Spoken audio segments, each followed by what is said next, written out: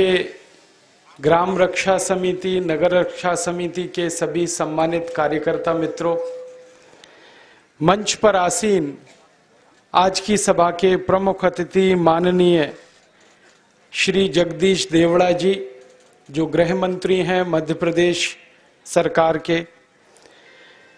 मेरे भारत स्वाभिमान अभियान में कई बार अपनी उपस्थिति दर्ज करा चुके यहाँ के जो आईजी महोदय हैं, उज्जैन जोन के श्री पवन जैन जी, जिनकी कविताएँ हमने बार बार सुनी हैं, हरिद्वार में, आस्था चैनल पर भी आई हैं। इस कार्यक्रम में उपस्थित डीआईजी श्री आदर्श कटियार जी, माननीय विधायक श्री पारसमल जी,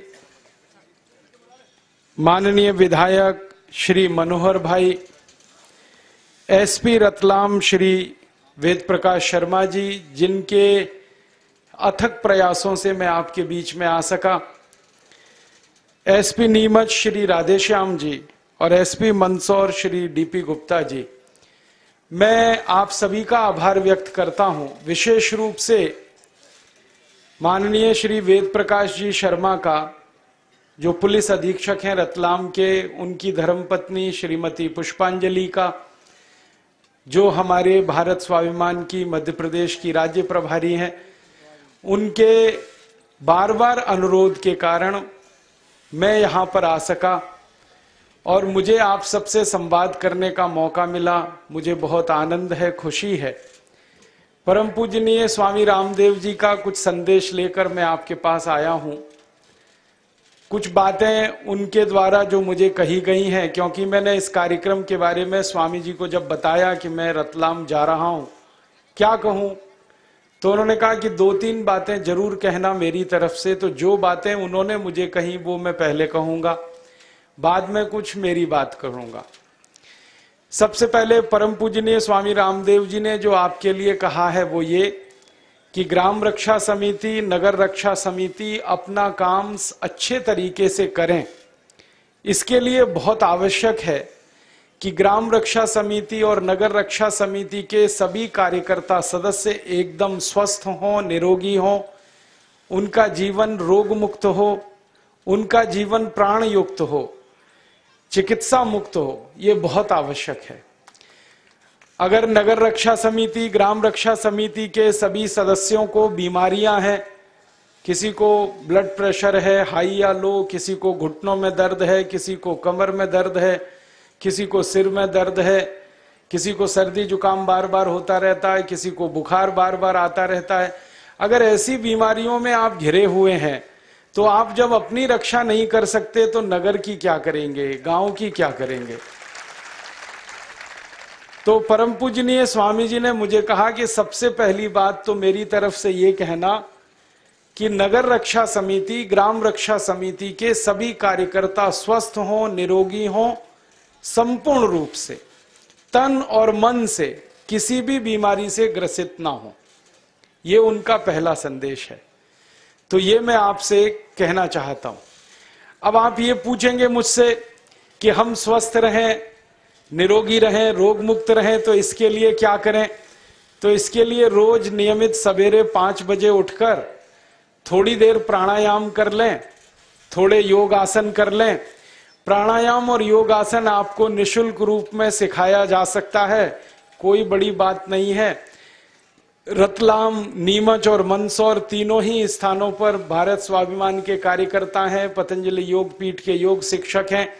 वो आपके बीच में आकर योग की कक्षाएँ ले सकते हैं और आप सबको ये सब बहुत अच्छे से सिखा सकते हैं। हमारे माननीय श्री वेद प्रकाश शर्मा जी योग में बड़े अच्छे पंडित हैं, प्राणायाम बहुत अच्छे से जानते हैं, खुद करते हैं, सिखाते रहते हैं, पुलिस वालों को बताते रहते हैं, वो भी आपको ये सब बता सकते हैं, सिखा सकते हैं। आप में सीखने की ललक थोड़ी पैदा हो जाए तो सिखाने वालों की कोई कमी नहीं है। भारत में लगभग 11 लाख योग शिक्षक हैं, जो प्रतिदिन निशुल्क रूप से योग कक्षाएँ लेते हैं और आपके जैसे करोड़ों लोगों को योग और प्राणायाम सिखाते हैं। तो आप ये थोड़ा सीख लीजिए, बहुत आसान है। सांस को कैसे भरना है, सांस को कैसे निकालना है। छोटा छोटा प्रयासों से भस्त्रिका, कपाल भाती, अनुलोम विलोम, उद्गीत, प्रणव, ये पाँच सात प्राणायाम आप नियमित करते रहें। निश्चित रूप से आप निरोगी हो जाएँगे, क्योंकि करोड़ों भारतवासी ये प्राणायाम करके निरोगी हो चुके हैं। जिनको ब्लड प्रेशर रहता था 20-20 साल से, जिनको डायबिटीज़ थी 20-20 साल से, जिनके हृदय में तीन तीन ब्लॉकेज थे, डॉक्टरों ने जिनका कह दिया था कि बचने की दूर दूर तक संभावना नहीं, जो कैंसर के मरीज़ थे अर्थराइटिस में जो बिस्तर पर हमेशा पड़े रहते थे, उठ नहीं सकते थे ऐसी गंभीर बीमारियों के बहुत सारे लोग इस देश में निरोगी हो चुके हैं। थोड़ा सा योग, थोड़ा सा प्राणायाम करके।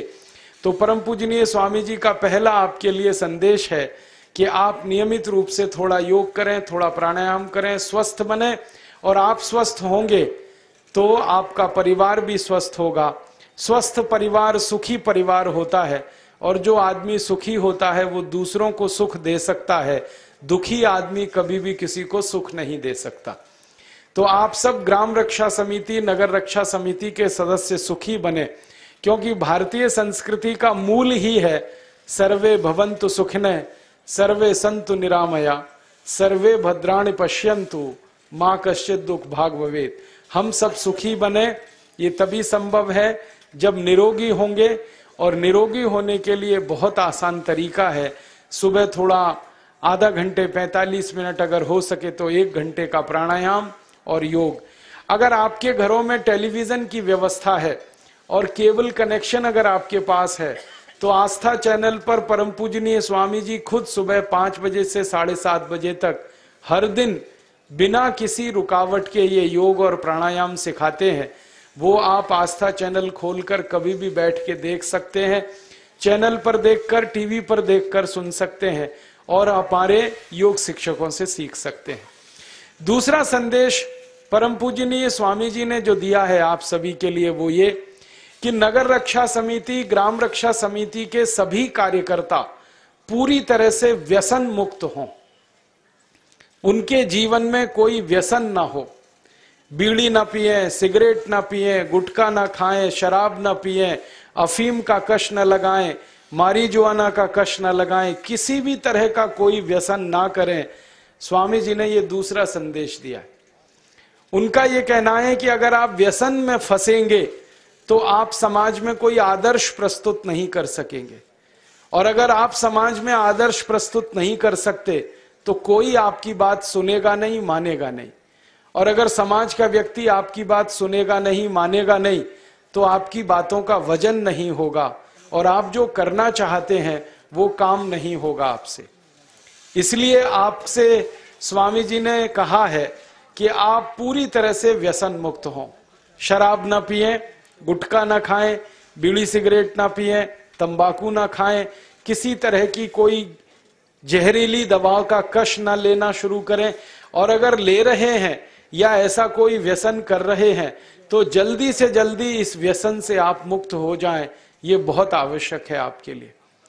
आप ये कहेंगे कि हम तो बहुत सारे ऐसे कार्यकर्ता हैं जो व्यसन नहीं करते।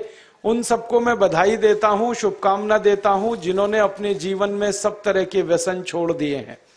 लेकिन जो छोड़ नहीं पाए हैं, उनके लिए ईश्वर से प्रार्थना करता हूँ कि जल्दी से उनके मन को इतनी शक्ति मिले कि वो इस व्यसन को छोड़ सके।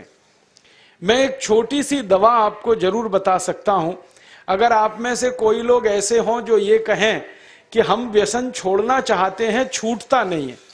बहुत लोग मुझे ये कहते हैं कि बार बार हमें मालूम है कि ये गुटखा खाना अच्छा नहीं है, लेकिन तलब उठ जाती है, क्या करें?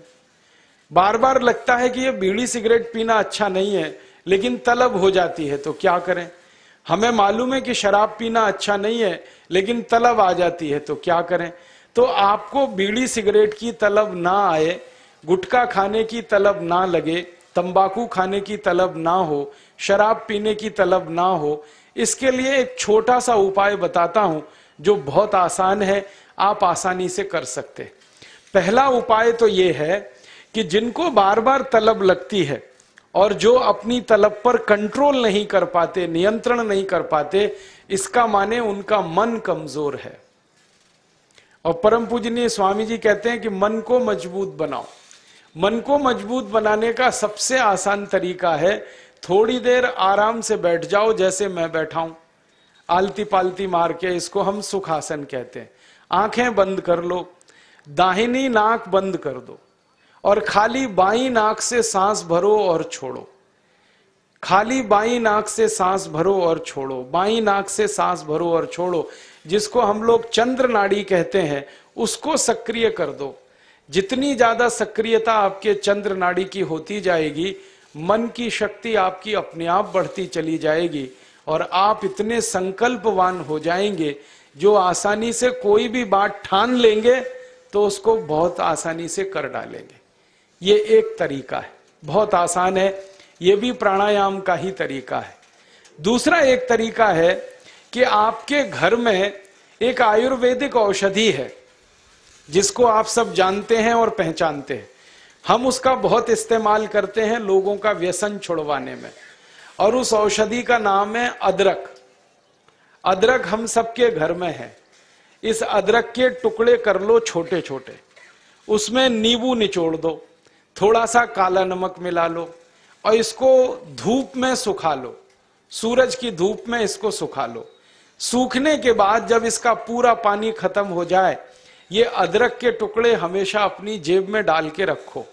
जब भी दिल करे कि तंबाकू खानी है, गुटखा खाना है, बीड़ी सिगरेट पीनी है तो आप एक अदरक का टुकड़ा निकालो, मुँह में डालो, उसका चूसने का काम शुरू कर दो।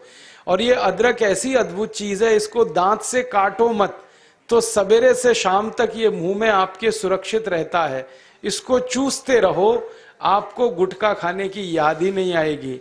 आपको बीड़ी सिगरेट पीने की तलब ही नहीं आएगी और दारू की तलब भी छूट जाएगी। बहुत आसान है, कुछ भी मुश्किल नहीं है। फिर से बता देता हूँ, अदरक ले लो, छोटे टुकड़े कर लो, नींबू निचोड़ लो, फिर उसमें काला नमक मिला लो, धूप में सुखा लो। सुखाने के बाद वो तैयार हो गया। तैयार होके इसको जेब में रखो, पुड़िया बना के रखो, डिब्बी में रखो, जैसे भी है जेब में रखो। जब दिल में तलब उठे, बीड़ी पीना, सिगरेट पीना, दारू पीना, गुटखा खाना, एक गुटखा, माने एक टुकड़ा इस अदरक का निकाल के जीप पे रखो, चूसना शुरू कर दो। जैसे ही वो रस आपके लार में घुलना शुरू हो जाएगा, आप देखना इसका चमत्कारिक असर होगा। आपको फिर गुटखा, बीड़ी, सिगरेट, तंबाकू, दारू याद ही नहीं रहेगी। सवेरे से शाम तक चूसते रहो और जो दो चार, दस दिन, पंद्रह दिन, बीस दिन लगातार कर लिया तो हमेशा के लिए व्यसन आपका छूट जाएगा। आप बोलेंगे, ये अदरक में ऐसी क्या चीज़ है? ये अदरक में एक रासायनिक तत्व है, जिसको हम रसायन शास्त्र की भाषा में केमिस्ट्री में कहते हैं सल्फ़र अदरक में सल्फ़र बहुत अधिक मात्रा में है। जब हम अदरक चूसते हैं तो वो सल्फ़र है, जो अदरक का निकल के हमारी लार के साथ मिलके अंदर जाने लगता है। और ये सल्फ़र जब खून में घुलने लगता है तो ये सल्फ़र कुछ ऐसे शरीर में हार्मोन्स को कुछ ऐसे अंदर अंत्यसावी ग्रंथियों को सक्रिय कर देता है, जो व्यसन नहीं करने के लिए आदमी को प्रेरित करती है।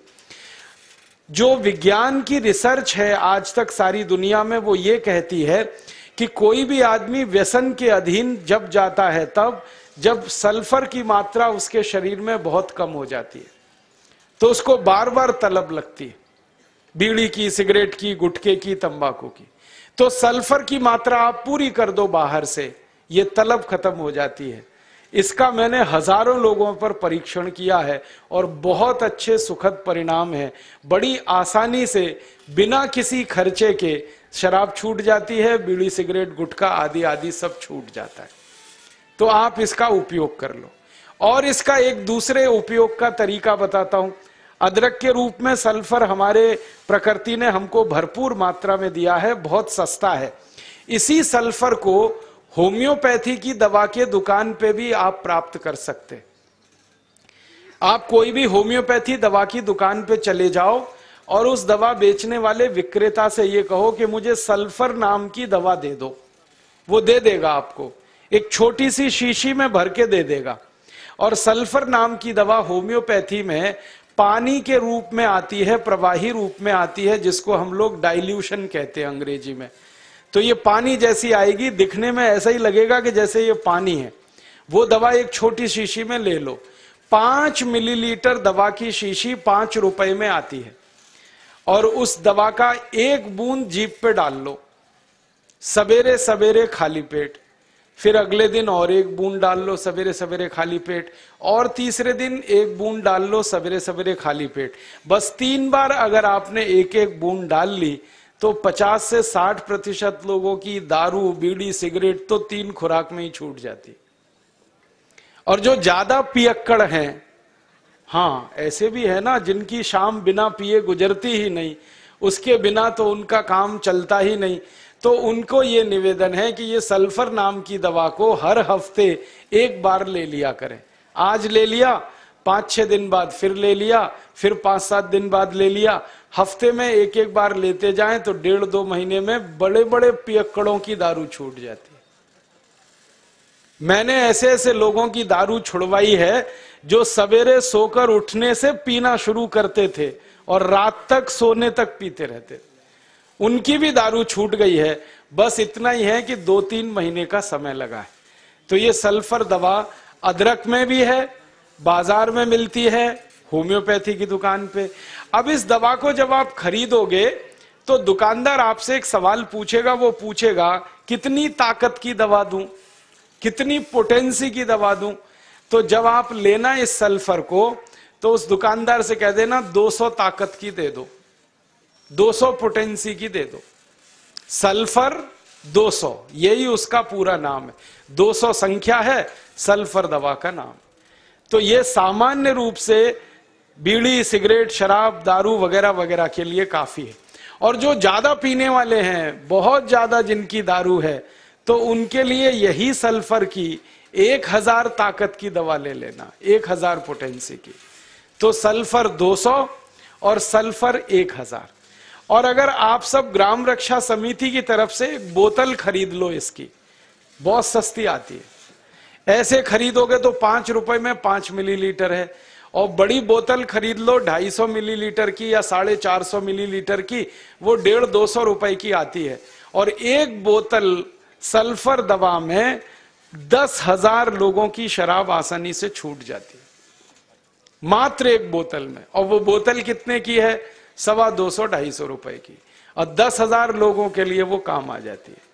और कभी कभी इस दवा को और अच्छे तरीके से इस्तेमाल करना हो तो एक बूंद सल्फ़र को पानी में डाल देना, जो पीने वाला पानी है। और वो पानी जो शराबी लोग हैं, जो पियक्कड़ लोग हैं, जो व्यसन करने वाले लोग हैं, उनको पिला देना। ये पानी में और अच्छे से काम करती है।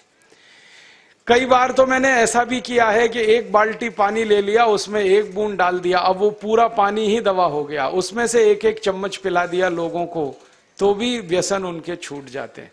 तो एक बिता दिया मैंने आपको, अदरक उसका इस्तेमाल करना है व्यसन छोड़ने के लिए, और दूसरा बता दिया मैंने आपको, सल्फ़र जो होम्योपैथी में है, एक 200 ताकत की, एक एक हज़ार ताकत की।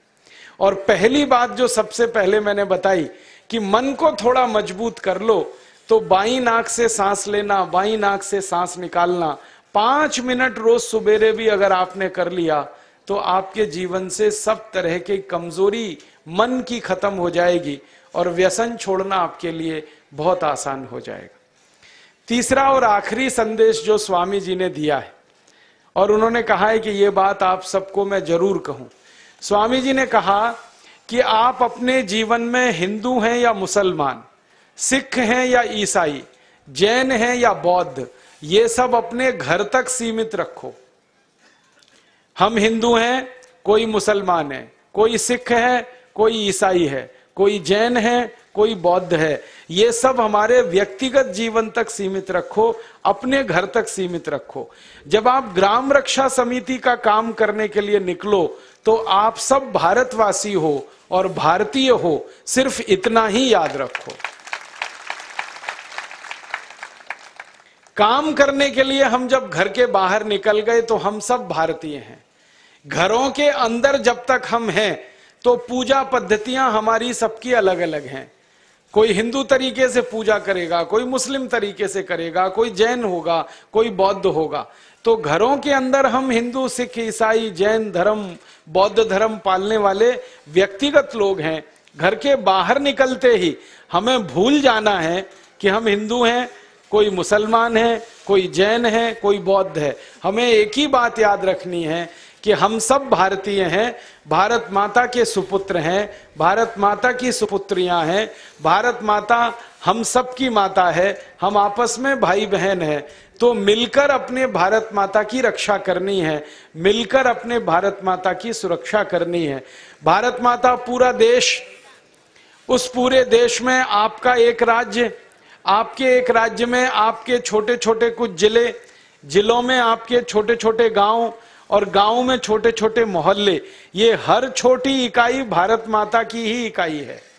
आपके गाँव का मोहल्ला हो या शहर का मोहल्ला हो ये एक छोटी इकाई है भारत माता की। तो इन सब छोटी छोटी इकाइयों की रक्षा हमें करनी है। इसी के लिए ये ग्राम सुरक्षा समिति या नगर सुरक्षा समितियों का गठन हुआ है। ये संकल्प हमें लेके काम करना है कि हम भारतवासी हैं, अपनी भारत माता की भूमि की एक एक इंच ज़मीन की रक्षा हमें करना है। अपराधियों से, उन सब लोगों से जो देश को तोड़ने के काम में लगे हैं विघटन करना चाहते हैं इस देश का, इस देश को नुकसान पहुंचाना चाहते हैं, तरीके उनके कुछ भी हों, हमें उनके तरीकों को नाकामयाब बनाना है, असफल बनाना है, और अपने संकल्पों को सफल बनाना है और सार्थक बनाना है। स्वामी जी के ये तीन संदेश हैं आपके लिए। पहला संदेश, कि आप सब निरोगी हो रोग मुक्त हो, चिकित्सा पर आपको कोई पैसा खर्च ना करना पड़े, ज़्यादा दवाएँ आपको ना खानी पड़े उसके लिए योग प्राणायाम करें। दूसरा संदेश स्वामी जी का, आप व्यसन मुक्त हो। किसी भी तरह के व्यसन में ना फंसे। और तीसरा और आखिरी संदेश स्वामी जी का कि हम सब सार्वजनिक जीवन में भारतीय बने। व्यक्तिगत जीवन में हिंदू, मुसलमान कुछ भी हो, भारतीय होकर इस देश के लिए काम करें। ये तीन संदेश स्वामी जी ने कहा था कि ज़रूर मैं दूँ आपको जब रतलाम जाऊँ। तो ये मैंने स्वामी जी के संदेश आपको दिए।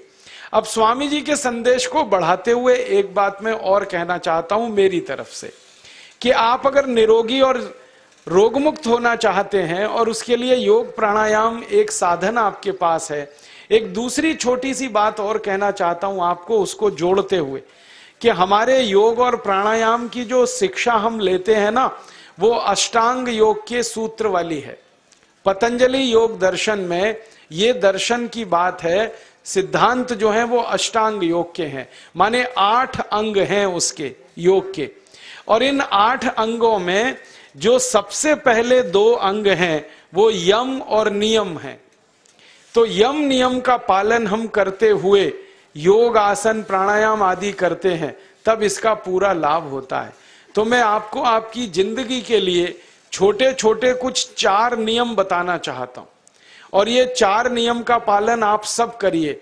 मैं आपको विनम्रता पूर्वक लेकिन विश्वास से कहता हूँ कि ये चार नियम का जो भी पालन करेगा, ज़िंदगी में बीमारी और रोग उसको कभी आएँगे नहीं। परम पूजनीय स्वामी रामदेव जी खुद 40-45 साल से इन चार नियमों का पालन करते आप भी अगर ये पालन करेंगे तो बहुत अच्छा होगा। मैं भी करता हूँ मेरे जीवन। मैं पिछले पंद्रह वर्षों से योग प्राणायाम करता हूँ। उसके साथ कुछ नियम मैंने बनाए हैं। वो नियम का पालन करता हूँ। और वही नियम आपको बताना चाहता हूँ। स्वामी जी पालन करते हैं, मैं करता हूँ, हमारे लाखों योग शिक्षक करते हैं। और इन नियमों का पालन करने से हमको इतना लाभ हुआ है कि कभी बीमारी आती नहीं।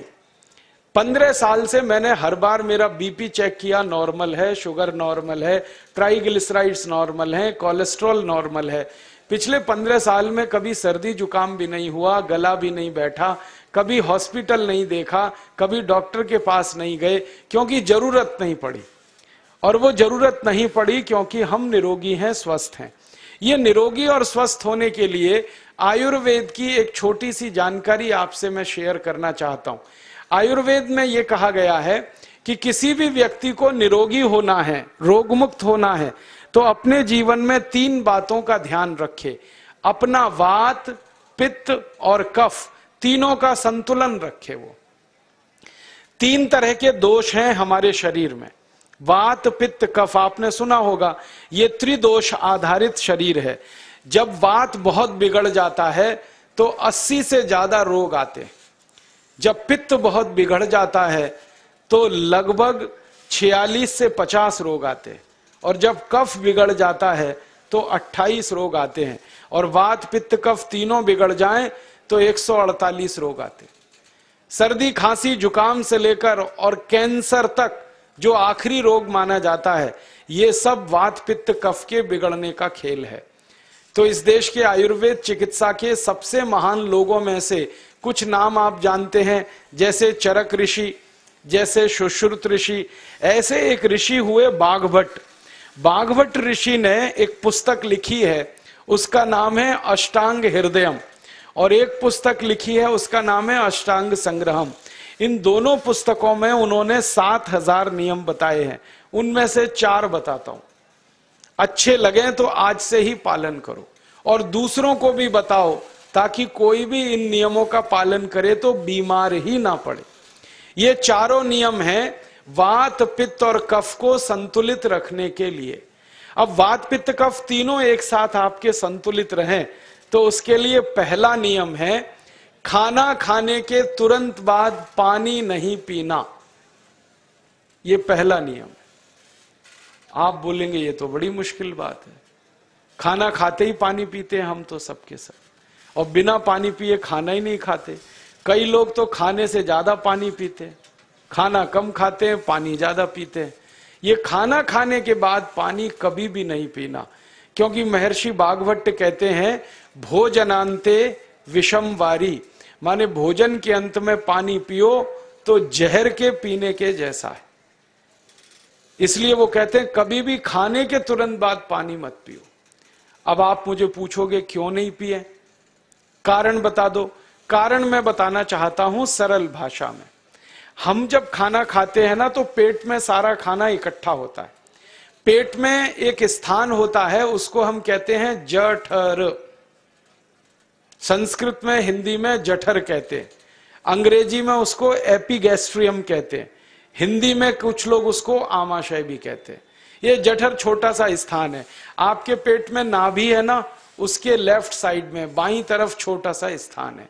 सारा खाना आपका इसी स्थान पर आता है, जो भी आप खाते हो। रोटी, चावल, दाल, सब्ज़ी, दूध, दही, कुछ भी खाओ, सब कुछ जठर में आता है। अब जठर में जैसे ही खाना इकट्ठा होता है तो उसमें आग जलती और उस आग को कहते हैं जठर अग्नि। मिला के बोल देते हैं जठर अग्नि। आप जैसे ही खाना खाते हो, पेट में जठर में अग्नि जलती है, वो अग्नि खाने को पचाती है। और अग्नि खाने को ऐसे ही पचाती है जैसे रसोई घर की अग्नि खाने को पकाती है। आपके रसोई घर में आप अग्नि जलाओ, उसके ऊपर दूध रख दो, दूध में थोड़ा चावल डाल दो, अग्नि जब तक जलती रहेगी, खीर तब तक बनती रहेगी। आप घर में अग्नि जलाओ, उसके ऊपर पानी रख दो, उसमें दाल डाल दो, दाल की पकने की क्रिया तब तक चलेगी जब तक अग्नि जलेगी। ऐसे ही पेट में होता है। जैसे ही आपने खाना खाया, पेट में अग्नि जलती है और जब तक अग्नि जलती है तो खाने के पचने की क्रिया चलती है। जैसे रसोई घर में खाना पकाते हैं, वैसे ही पेट में भी खाना पकता है। इसी को हम पचने की क्रिया कहते हैं। अंग्रेज़ी में उसको डाइजेशन कह देते तो आपने खाना खाया, पेट में अग्नि जल गई, अब वो खाने को हजम करेगी, पचाएगी। अब मुझे एक प्रश्न का उत्तर दो आप। कि जैसे ही आपने खाना खाया, पेट में अग्नि जल गई और वो खाने को पचा रही है, तुरंत आपने गट गट गट गट पानी पी लिया और खूब ठंडा पानी पी लिया, बर्फ़ मिलाया हुआ पानी पी लिया, फ्रिज का पानी पी लिया। क्या होने वाला है? अग्नि जलेगी कि बुझेगी? अग्नि के ऊपर पानी डालो तो अग्नि और पानी की दोस्ती नहीं है, दुश्मनी है। पानी अग्नि को बुझा देता है। तो आपने खाना खाया, अग्नि जली, पीछे से गटगट पानी पी लिया, अब अग्नि शांत हो गई, अब खाना पचेगा नहीं। तो वो पेट में पड़ा पड़ा सड़ेगा और सड़ा हुआ खाना सौ से ज़्यादा विष पैदा करेगा और वो सौ विष आपकी ज़िंदगी को नरक बना देंगे और ज़िंदगी भर आप बीमार पड़े रहेंगे।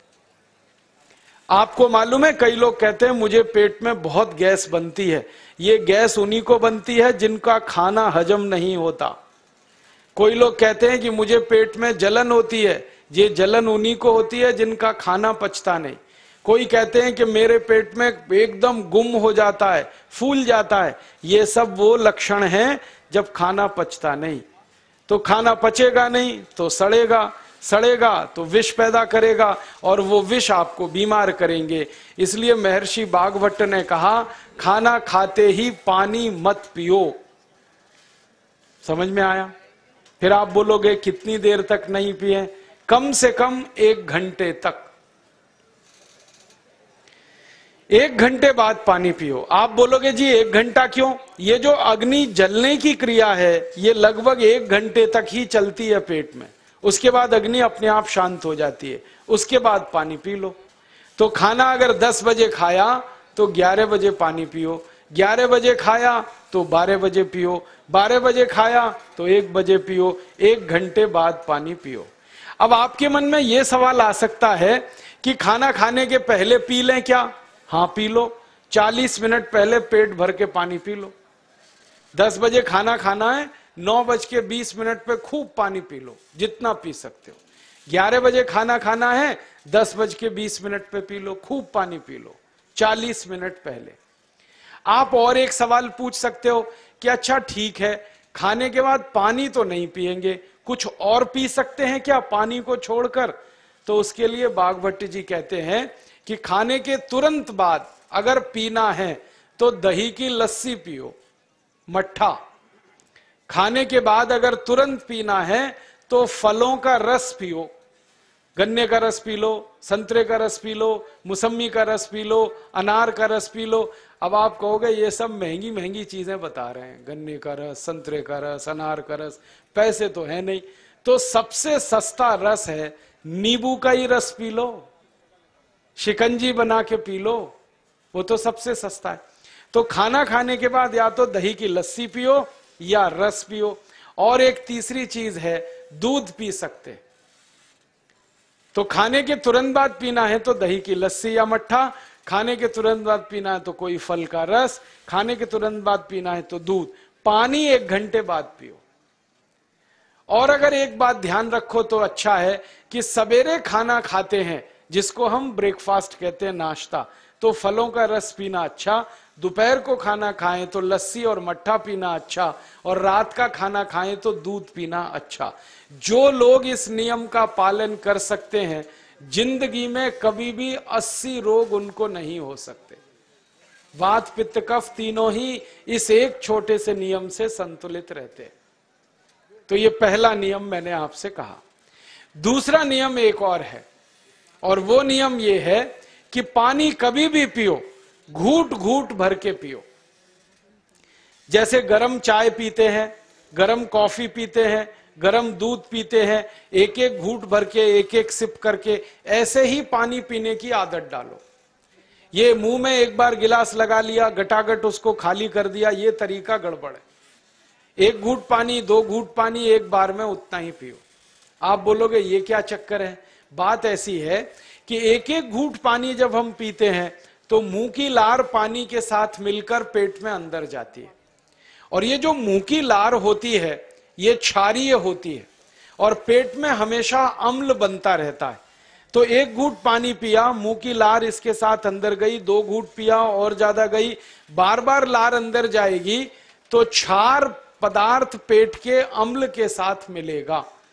पेट में अम्ल बनता है, मुँह में लार क्षारीय होती है।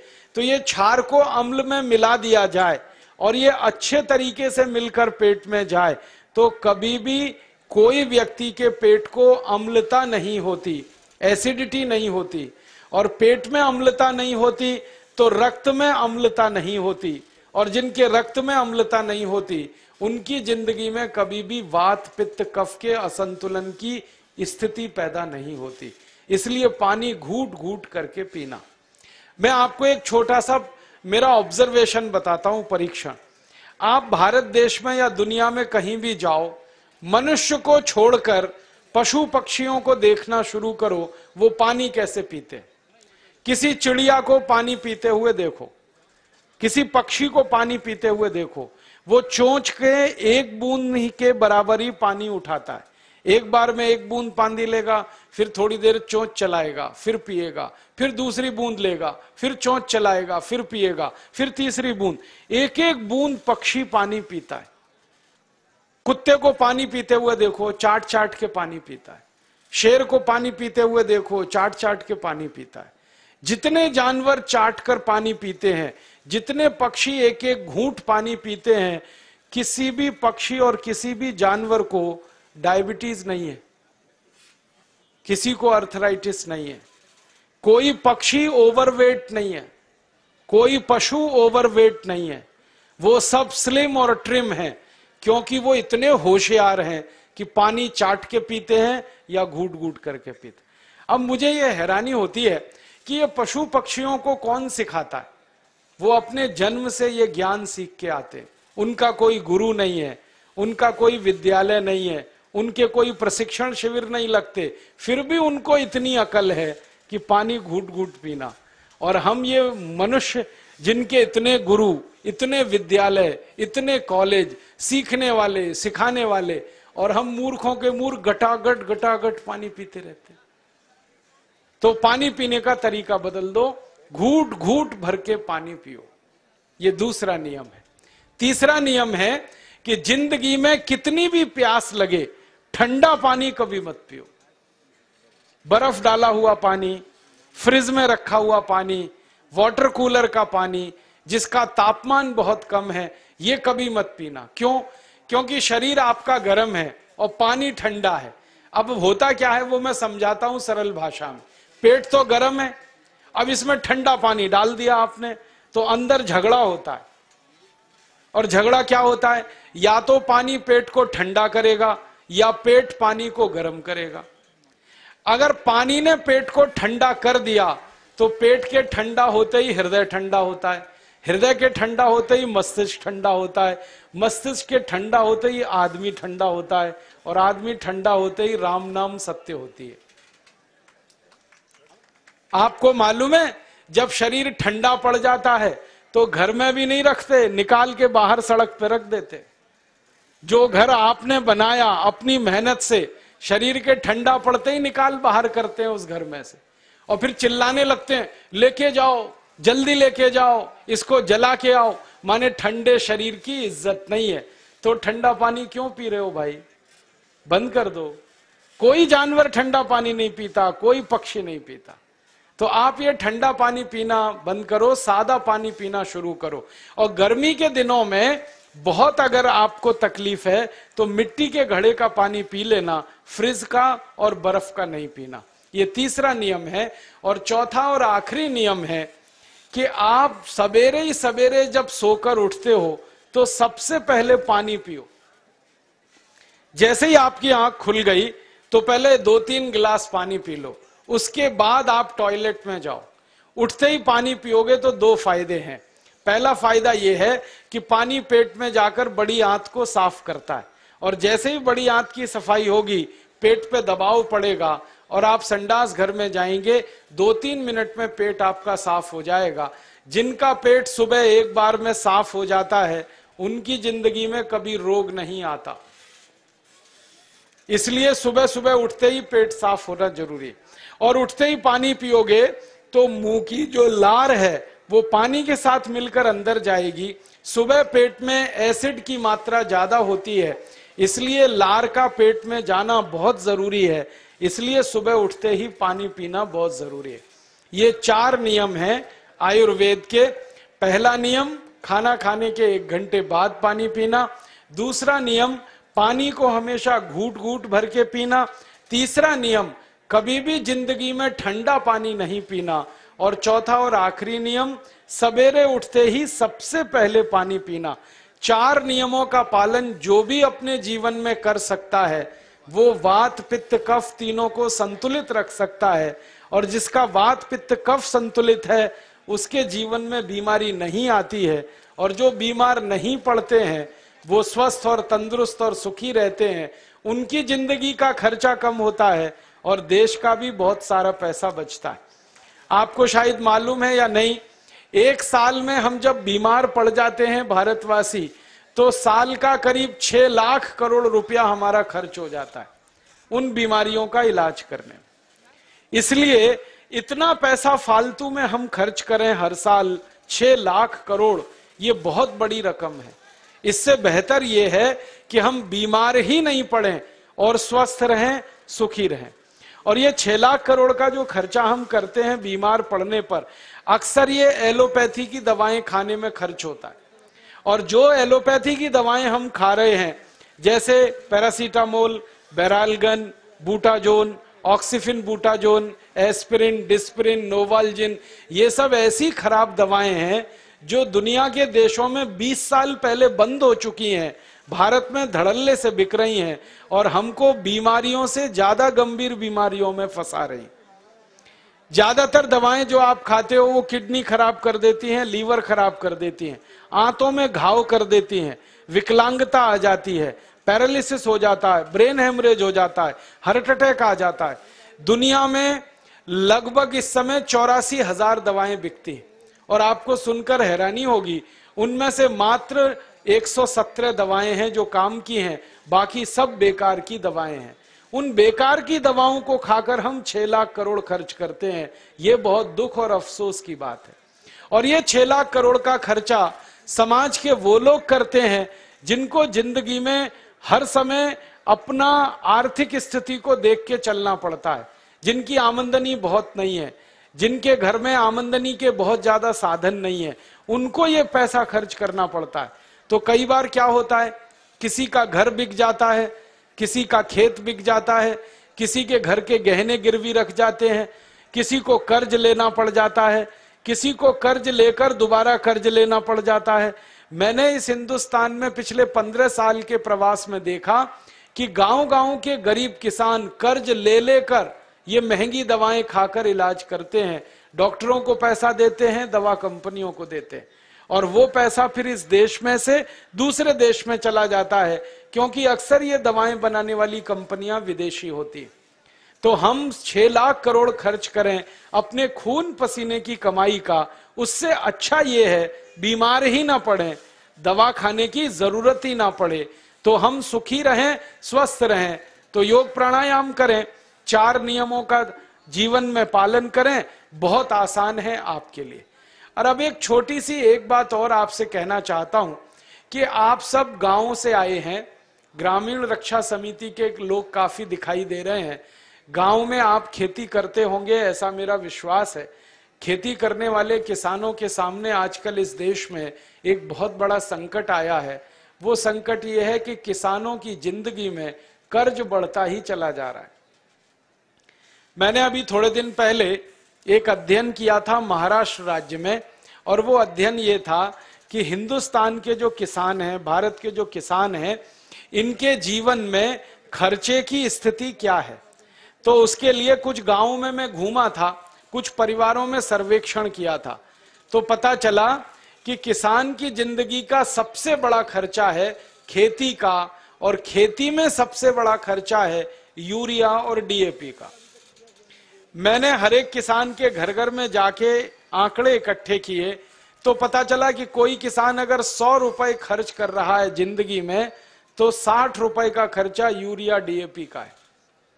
और बीस रुपए का खर्चा कीटनाशक दवाएँ छिड़कने का है। Endosulfan, malathion, parathion, benzene hexachloride chlorpyrifos dichromate monocrotophos बीसियों किस्म की जहरीली दवाएँ छिड़क छिड़क कर हम हमारे किसान की ज़िंदगी का इनकम का 20 प्रतिशत खर्च कर देते मुझे बहुत अफसोस है ये कहते हुए कि आप सब किसान हैं। मैं भी किसान का ही बेटा हूँ। मेरे घर में भी खेती होती है। मेरा गाँव उत्तर प्रदेश में अलीगढ़ ज़िले में है। हमारे घर में परंपरा से खेती होती है। हम सब जो किसान खेती करते हैं, एक साल में 21 करोड़ टन अनाज पैदा करते भारत के किसान। गेहूँ, चावल, चना, दाल, मटर सब मिलाकर 21 करोड़ टन। इस 21 करोड़ टन अनाज को बाज़ार में बेचें तो 10 लाख करोड़ रुपए आता है। अब एक दिन मैंने हिसाब निकाला कि ये 10 लाख करोड़ रुपए जो आता है 21 करोड़ टन अनाज बेचकर, ये जाता कहाँ है? किसानों की एक साल की पूरी आमंदनी दस लाख करोड़ की है भारत देश। और जो किसान जानवर पालते हैं, गाय, बैल, भैंस पालते हैं और उसका दूध बेचते हैं, उनकी आमदनी और ढाई लाख, तीन लाख करोड़ की है। और जो किसान फल पैदा करते हैं, सब्ज़ियाँ पैदा करते हैं, उसको भी जोड़ दिया जाए तो कुल आमदनी पंद्रह लाख करोड़ के आसपास है। अब पंद्रह लाख करोड़ की आमदनी अगर किसानों की एक साल में होती है तो हर किसान को इस देश में लखपति, करोड़पति होना चाहिए। लेकिन कोई भी किसान इस देश में रोडपति है, बैंक का कर्जदार है, घर गिरवी रखा हुआ है, ट्रैक्टर गिरवी रखा हुआ है, बैल गिरवी रखे हुए हैं, गाय गिरवी रखी हुई है, गहने घर के गिरवी रखे हुए हैं, ऐसी हालत सब किसानों की है। तो मेरे मन में हमेशा ये प्रश्न आता था कि आखिर ये इतना उत्पादन करके जो बिक्री होता है, ये जाता कहाँ है पंद्रह लाख करोड़? फिर मैंने भारत सरकार के अलग अलग मंत्रालयों से जानने की कोशिश की।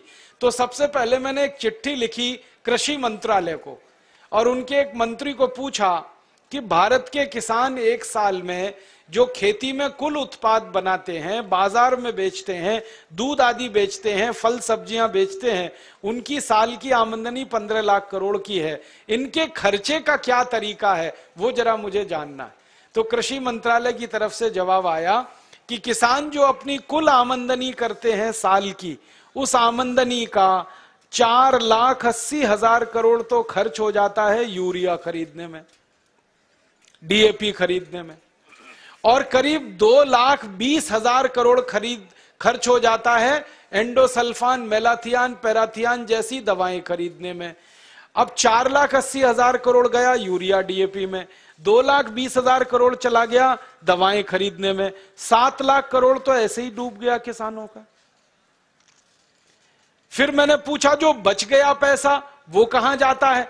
तो फिर एक मंत्रालय को मैंने प्रश्न किया था, उनका नाम है कानून और न्याय मंत्रालय। उनके यहाँ मेरी चिट्ठी गई तो उनका जवाब आया कि भारत के किसान साढ़े तीन करोड़ मुकदमे लड़ रहे हैं। किसान साढ़े तीन करोड़ मुकदमे लड़ रहे हैं। एक किसान वादी है और एक किसान प्रतिवादी है। तो सात करोड़ परिवार मिलकर ये मुकदमे लड़ रहे हैं और ये मुकदमे आज़ादी के बासठ साल से चल रहे हैं। तारीख पर तारीख तारीख पर तारीख तारीख पर तारीख पड़ती ही जा रही है। किसानों की जेब से पैसा निकल निकल कर वकीलों की जेब में जा रहा है।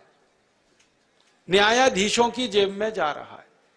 मुकदमे का फैसला होता नहीं, पैसा किसानों का खर्च होता रहता है। मैंने ये साढ़े तीन करोड़ मुकदमों का एक हिसाब निकाला कि एक मुकदमे पर एक वकील अगर पैरवी के लिए खड़ा हो जाए तो पाँच सौ रुपए से कम तो नहीं ही लेता वो, न्यूनतम। और कुछ कुछ तो ऐसे महापुरुष वकील हैं हमारे देश में, जो एक दिन के लिए खड़े हो जाएँ, पाँच लाख रुपए फ़ीस ले लेते। ऐसे भी महापुरुष हैं इस देश तो पाँच सौ रुपए सबसे कम और पाँच लाख रुपए सबसे ज़्यादा। मैंने वो हिसाब निकाला तो पता चला, किसानों के इन मुकदमेबाजी में हर साल करीब दो लाख करोड़ का खर्च हो रहा है। इन मुकदमेबाजी और मुकदमे कैसे हैं? मेरे गाँव का एक मुकदमा है जो मैं देख रहा हूँ। मेरे गाँव में दो किसान मुकदमा लड़ रहे हैं। उनको 36 साल हो गया मुकदमा लड़ते लड़ते मामला क्या है? ढाई एकड़ ज़मीन का मुकदमा है। एक किसान कहता है, मेरी है, दूसरा कहता है, मेरी है। 36 साल से केस चल रहा है। पहले लोअर कोर्ट में चला, फिर हाई कोर्ट में चला गया। अब वो केस में ढाई एकड़ ज़मीन मिलने वाली है। या तो इसको, या तो उसको। और मुकदमा लड़ते लड़ते 36 साल में दोनों किसानों की 20 एकड़ ज़मीन बिक चुकी है वकील को फ़ीस देने। ऐसे होशियारी के काम हमारे किसान कर रहे अब भैया फैसला कर लो, सवा एकड़ तुम ले लो, सवा एकड़ मैं ले लू, बात खत्म हो जाए। फालतू वकील के पास तो ना जाए। तो वो दोनों किसान कहते हैं कि मैं तो चाहता हूँ फैसला कर लू। वकील नहीं होने देता। और वकील क्यों नहीं होने देता? क्योंकि वो क्यों चाहेगा उसकी इनकम खत्म हो जाए? तो किसानों की मुकदमेबाजी में जो खर्चा है, वो करीब करीब दो लाख करोड़, सात लाख करोड़, वो नौ लाख करोड़ हो गया। अब एक खर्चा और है जो थोड़ी देर पहले मैं बता रहा था कि बीमार पड़ जाएँ तो डॉक्टर के पास भागें, दवाएँ खाएँ, उसमें खर्च करते हैं हमारे किसान। ढाई तीन लाख करोड़ उसमें खर्च हो जाता है। तो बचता ही नहीं है कुछ किसानों के हाथ में। सारी इनकम आई और चली गई और फिर किसान कर्जदार हो जाता है।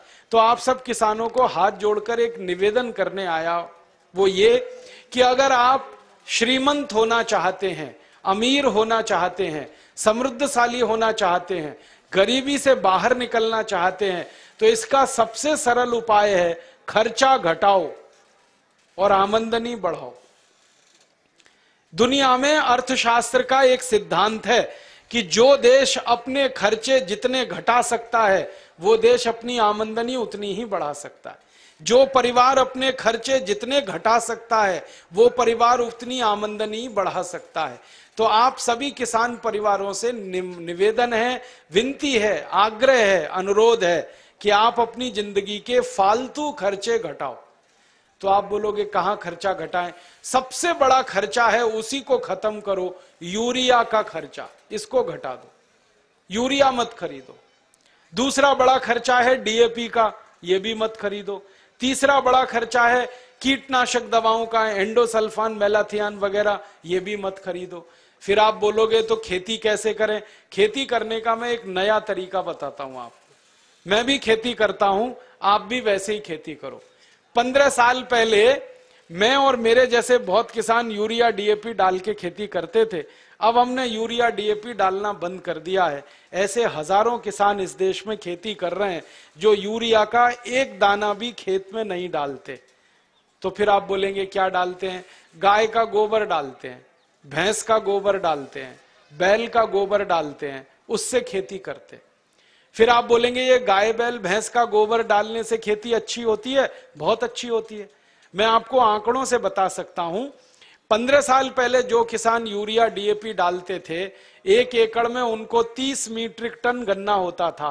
अब वही किसान गाय का, बैल का, भैंस का गोबर डालते हैं, एक एकड़ में उनको नब्बे मीट्रिक टन गन्ना होता है। तीन गुना ज़्यादा होता है।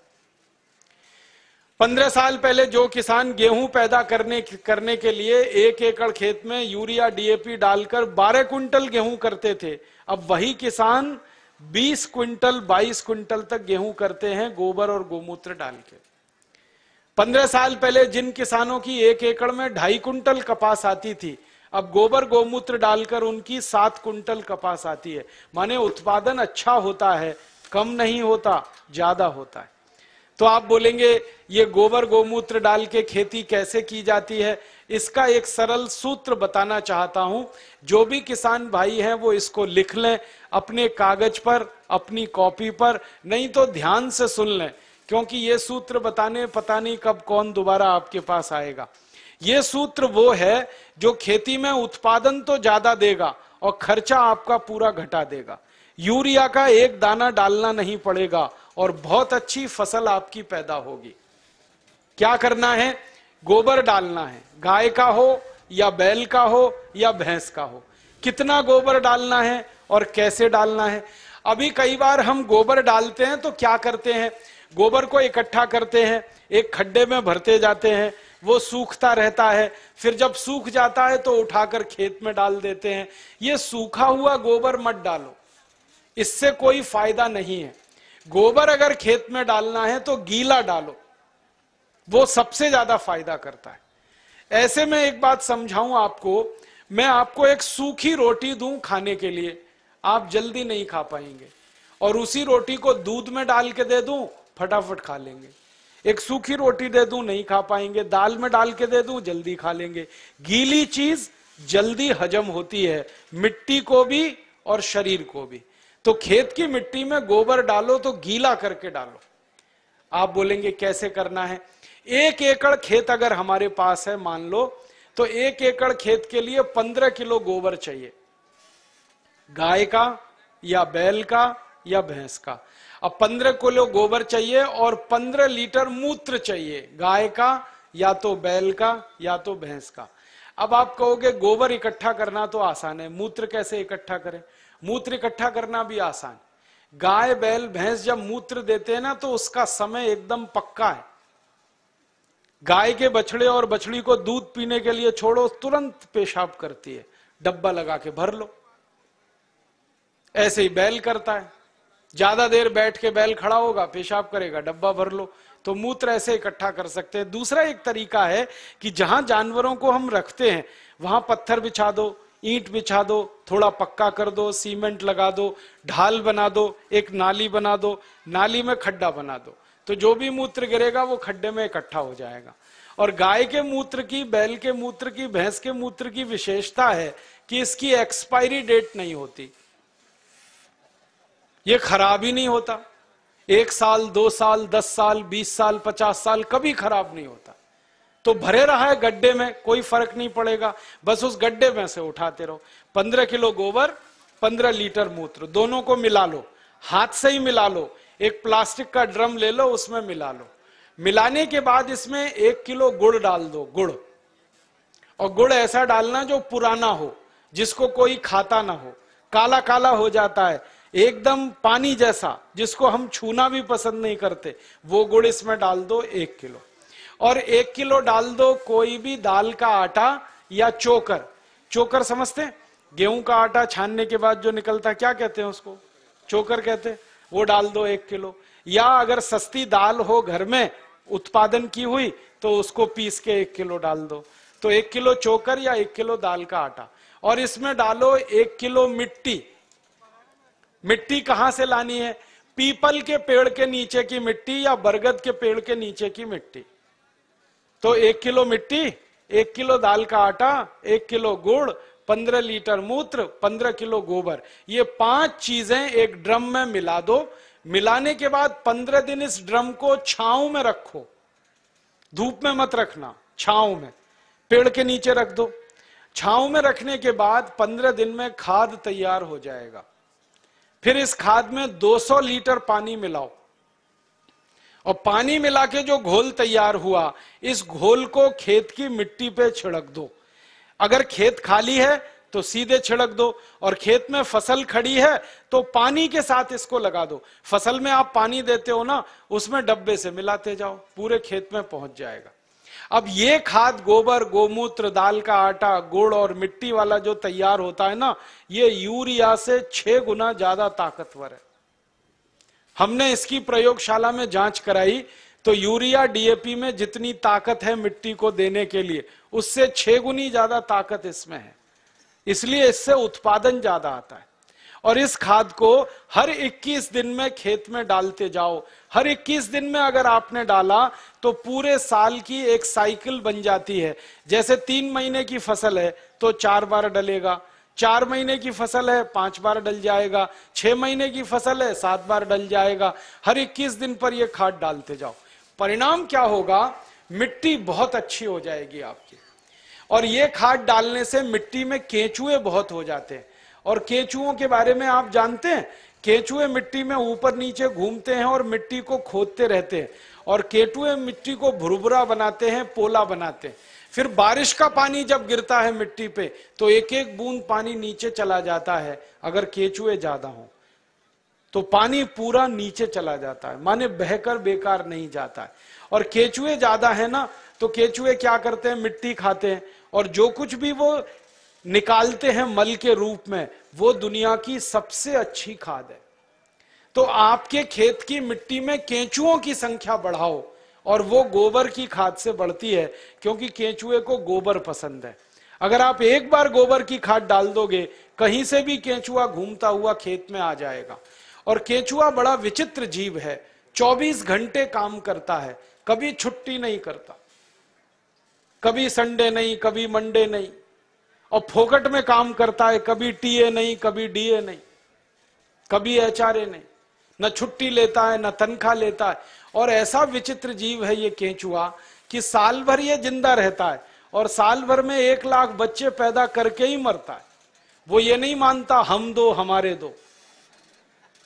वो एक केचुआ एक लाख पैदा करता। है तो खेत में एक केंचुआ आया तो एक लाख हो गए, एक लाख और एक एक लाख करेंगे तो संख्या बढ़ती जाएगी। और जिस खेत में केंचुए ज़्यादा हैं, वहाँ की मिट्टी तो सोना पैदा करती है, ये सारे दुनिया के वैज्ञानिक मानते केंचुओं की संख्या बढ़ाओ, मिट्टी में सोना उपजेगा। खूब पैदावार होगी, खूब फ़सल मिलेगी। और उसका तरीका मैंने आपको बता दिया। अब दो तीन मिनट में एक और बात कह के मैं व्याख्यान खत्म करूँगा। समय हो रहा है।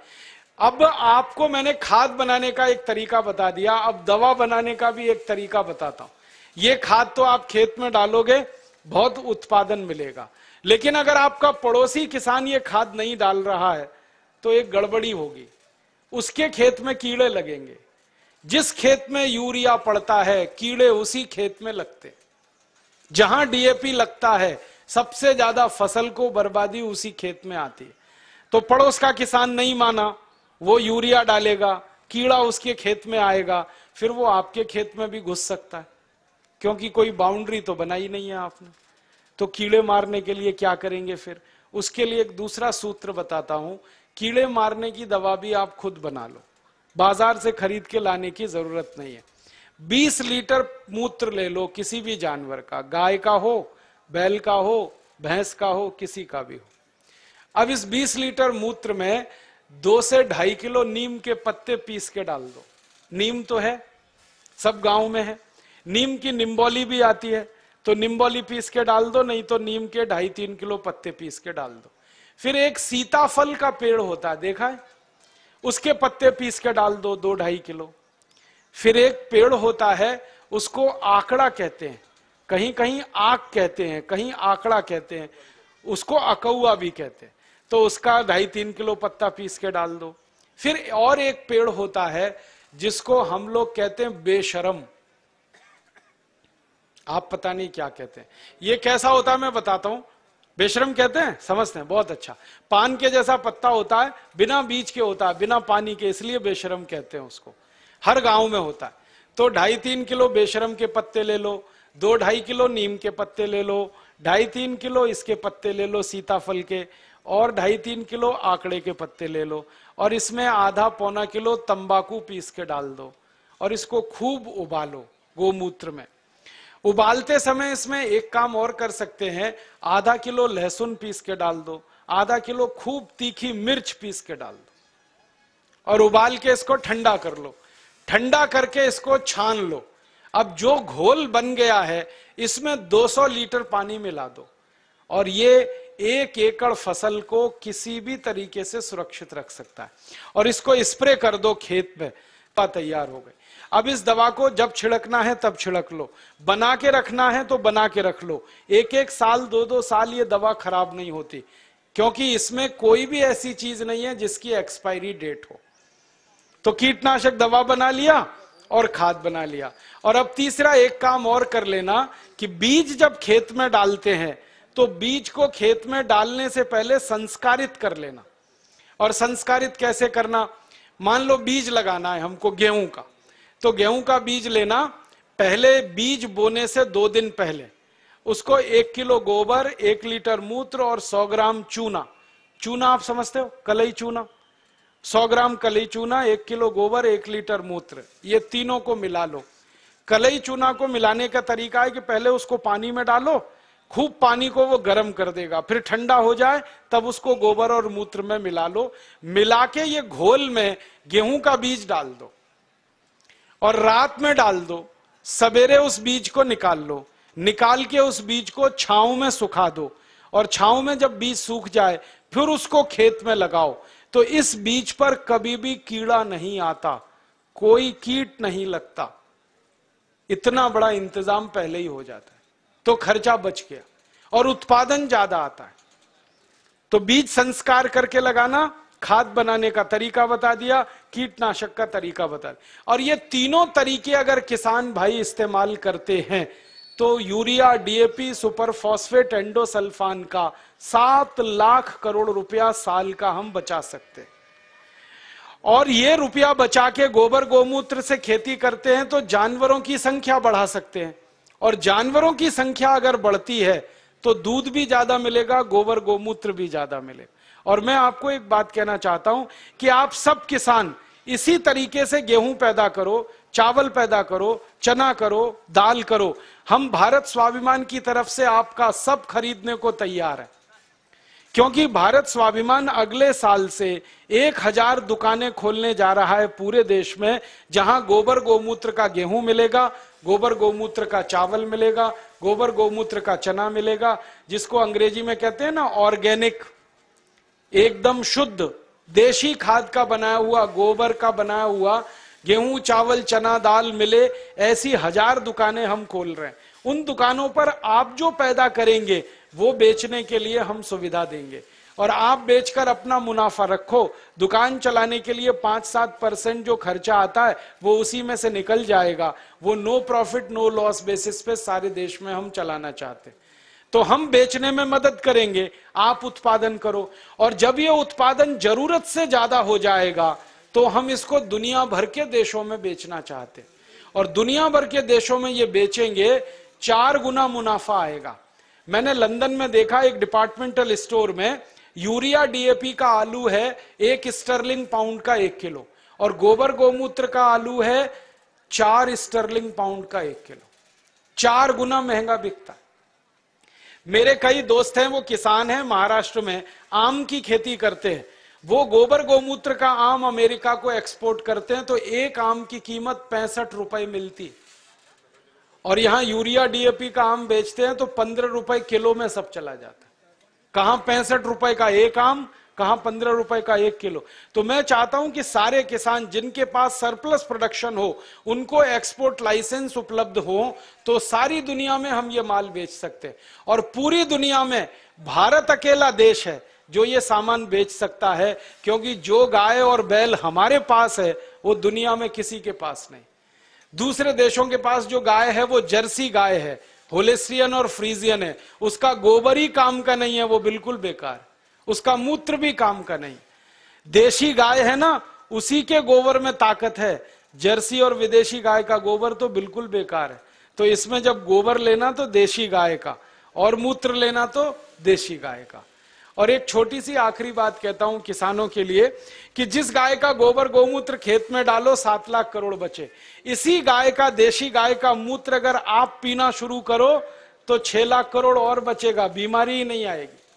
और गाय का मूत्र पियो तो सब बीमारी मिट जाएगी।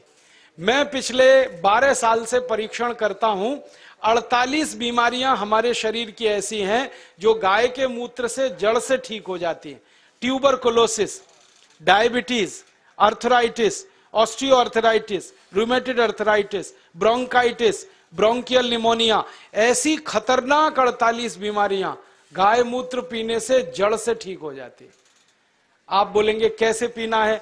आधा कप गाय का मूत्र सवेरे सवेरे खाली पेट पीना है।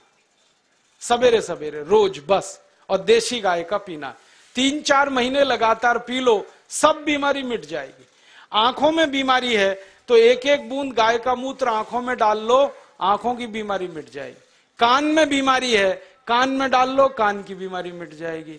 सिर के बाल अगर झड़ते हो और बहुत ज़्यादा रूसी आती हो डेंड्रफ, गोमूत्र को पानी में मिला के बाल की मालिश कर लो, वो भी बीमारी मिट जाएगी। पाओ में ठेक पड़ जाती है कई बार और पाँव कट जाते हैं, फट जाते हैं, क्रैक्स। गाय मूत्र की मालिश करके रात को सो जाओ, ये बीमारी भी मिट जाएगी। खाज हो जाए, खुजली हो जाए, गोमूत्र की मालिश करो, खाज खुजली मिट जाएगी। दाद हो गया एक्जिमा सोराइसिस उस पर मालिश करो, वो भी मिट जाएगी। ऐसी बीमारी नहीं जो गोमूत्र से ना मिटे। बस इसको पीना है और लगाना है। अब बहुत लोग कहते हैं, गोमूत्र पिएँगे कैसे? उसमें बास आती है। तो मुझे ये बताओ, दारू कैसे पी लेते हो? उसमें तो और भी बास आती है। दारू की बोतल पे बोतल गटक सकते हैं तो गोमूत्र क्यों नहीं पी सकते? बस आधा कप पीना है। और आपको एक बहुत अच्छी बात बताता हूँ कि जो लोग आधा कप गोमूत्र रोज पी सकते हैं, उनकी दारू छूट जाती है। क्योंकि गाय के मूत्र में भी सल्फ़र है और बहुत अधिक मात्रा में। दारू छूटती है, बीड़ी छूटती है, शराब, गुटखा, मावा, पान पराग सब छूट जाता है। और कभी कभी मुँह खराब हो जाता है ना, गुटखा खा खा के, खा खा के, और इतना खराब हो जाता है कि मुँह में फोड़ा हो जाता है, जिसको हम कैंसर की पहली स्टेज कहते हैं। उसमें गोमूत्र मुँह में भरो ऐसे ऐसे मुँह में भर के उसको घुमाओ और कुल्ला करना शुरू कर दो, वो फोड़ा भी मिट जाता है। लेकिन इसका मतलब ये नहीं है कि गोमूत्र से मुँह का फोड़ा मिटा के फिर गुटखा खाएँ। छोड़ देना ही अच्छा है। तो आप इस गोमूत्र का दवा के रूप में इस्तेमाल करो, व्यसन को छोड़ने में इस्तेमाल करो, शरीर की बीमारियों को दूर करने में इस्तेमाल करो। माताएँ, बहनें यहाँ बैठी हैं, उनको एक बात बताने का दिल कर रहा है कि बहुत सारी माताओं, बहनों को जब गर्भावस्था होती है ना तो डॉक्टर कई बार कहता है कि सीजेरियन ऑपरेशन कराओ, नहीं तो बच्चा नहीं आएगा। और उसके बीस बहाने वो बताते। कभी कहेंगे जगह छोटी है, कभी कहेंगे ये बीमारी, कभी वो, ये। आप कुछ मत करो, बस एक काम करना, किसी गाय की बछड़ी का मूत्र लेना, आधा कप, और उसमें 100 ग्राम गोबर उसका घोल लेना। गोबर मूत्र घोल के उसको कपड़े से छान लेना, और जिस माँ को गर्भावस्था है, और डॉक्टर चिल्ला रहा है कि ऑपरेशन कराओ, ऑपरेशन मत कराना, वो पिला देना उसको। दो तीन घूट सुबह, दो तीन घूट दोपहर, दो तीन घूट शाम। रात को बच्चा अपने आप बड़े आराम से बाहर आ जाएगा। कोई ऑपरेशन नहीं करना पड़े। मैंने हज़ारों माताओं बहनों की डिलीवरी इस गोबर गोमूत्र से फोकट में कराई और ये गोबर गोमूत्र में इतनी ताकत है, मैं आपको एक मेडिकल टर्मिनोलॉजी को सरल भाषा में समझाता हूँ। बच्चा कई बार उल्टा हो जाता है गर्भाशय में। तो डॉक्टर कहते हैं, अब तो कोई इलाज नहीं, काटना ही पड़ेगा पेट। गोबर गोमूत्र की तीन डोज दे दो, वो उल्टा बच्चा सीधा हो जाता है। गाय के मूत्र में इतनी ताकत है। इसलिए आप इसको पीना शुरू करो, पिलाना शुरू करो। इसका इलाज सबसे अच्छा है। खर्चा कुछ नहीं है, पैसे कोई जाने वाले नहीं, गाय अपने पास है। अब मैं क्यों कह रहा हूँ ये बात? बार बार आप गाय का मूत्र पियोगे, अपनी बीमारी ठीक करोगे तो आपके मन में गाय के प्रति श्रद्धा बढ़ेगी। अभी तक तो आप दूध पीते थे, लेकिन दूध तो गाय हमेशा देती नहीं है तो उस गाय को कसाई को बेच देते हैं। अब मूत्र तो ज़िंदगी भर देगी। तो मैं किसानों से कहता हूँ, गाय को दूध के लिए मत पालो, मूत्र के लिए पालो। दूध मिले तो बोनस है, मूत्र असली है। और जो गोमूत्र पीना शुरू किया, आँख में डालना शुरू किया, बीमारी मिटती है। आँखों की एक बीमारी है जो दुनिया में कभी ठीक नहीं होती, उसको रेटिनल डिटेचमेंट कहते हैं। अमेरिका में भी इलाज नहीं है उसका। और एक ग्लूकोमा बिना ऑपरेशन ठीक ही नहीं होता। ये दोनों बीमारी एक एक बूंद गोमूत्र से तीन महीने में जड़ से मिट जाती है। जिनको चश्मे चढ़ गए हैं ना, चश्मा उतारना है तो गोमूत्र डाल लो तो चश्मा उतर जाता है। सब तरह की बीमारी आपकी खत्म करता है गाय का मूत्र, क्योंकि गोमूत्र में 18 तरह के रासायनिक तत्व हैं। सल्फ़र उसमें है, कैल्शियम उसमें है, आयरन उसमें है, मैग्नीशियम उसमें है, मैग्नीज उसमें है, भगवान के दिए हुए हैं, प्रचंड मात्रा में है, मुफ़्त में है, और बिना किसी साइड इफ़ेक्ट के। तो गोबर गोमूत्र को खेत में डालो तो यूरिया का खर्च बचेगा। शरीर में पियो तो छह लाख करोड़ की बीमारी का खर्च बचेगा। तो खाली गाय से ही एक साल में इस देश का पंद्रह लाख करोड़ का फ़ायदा हम करा सकते हैं। और ये ताकत हम में से हर किसान में है।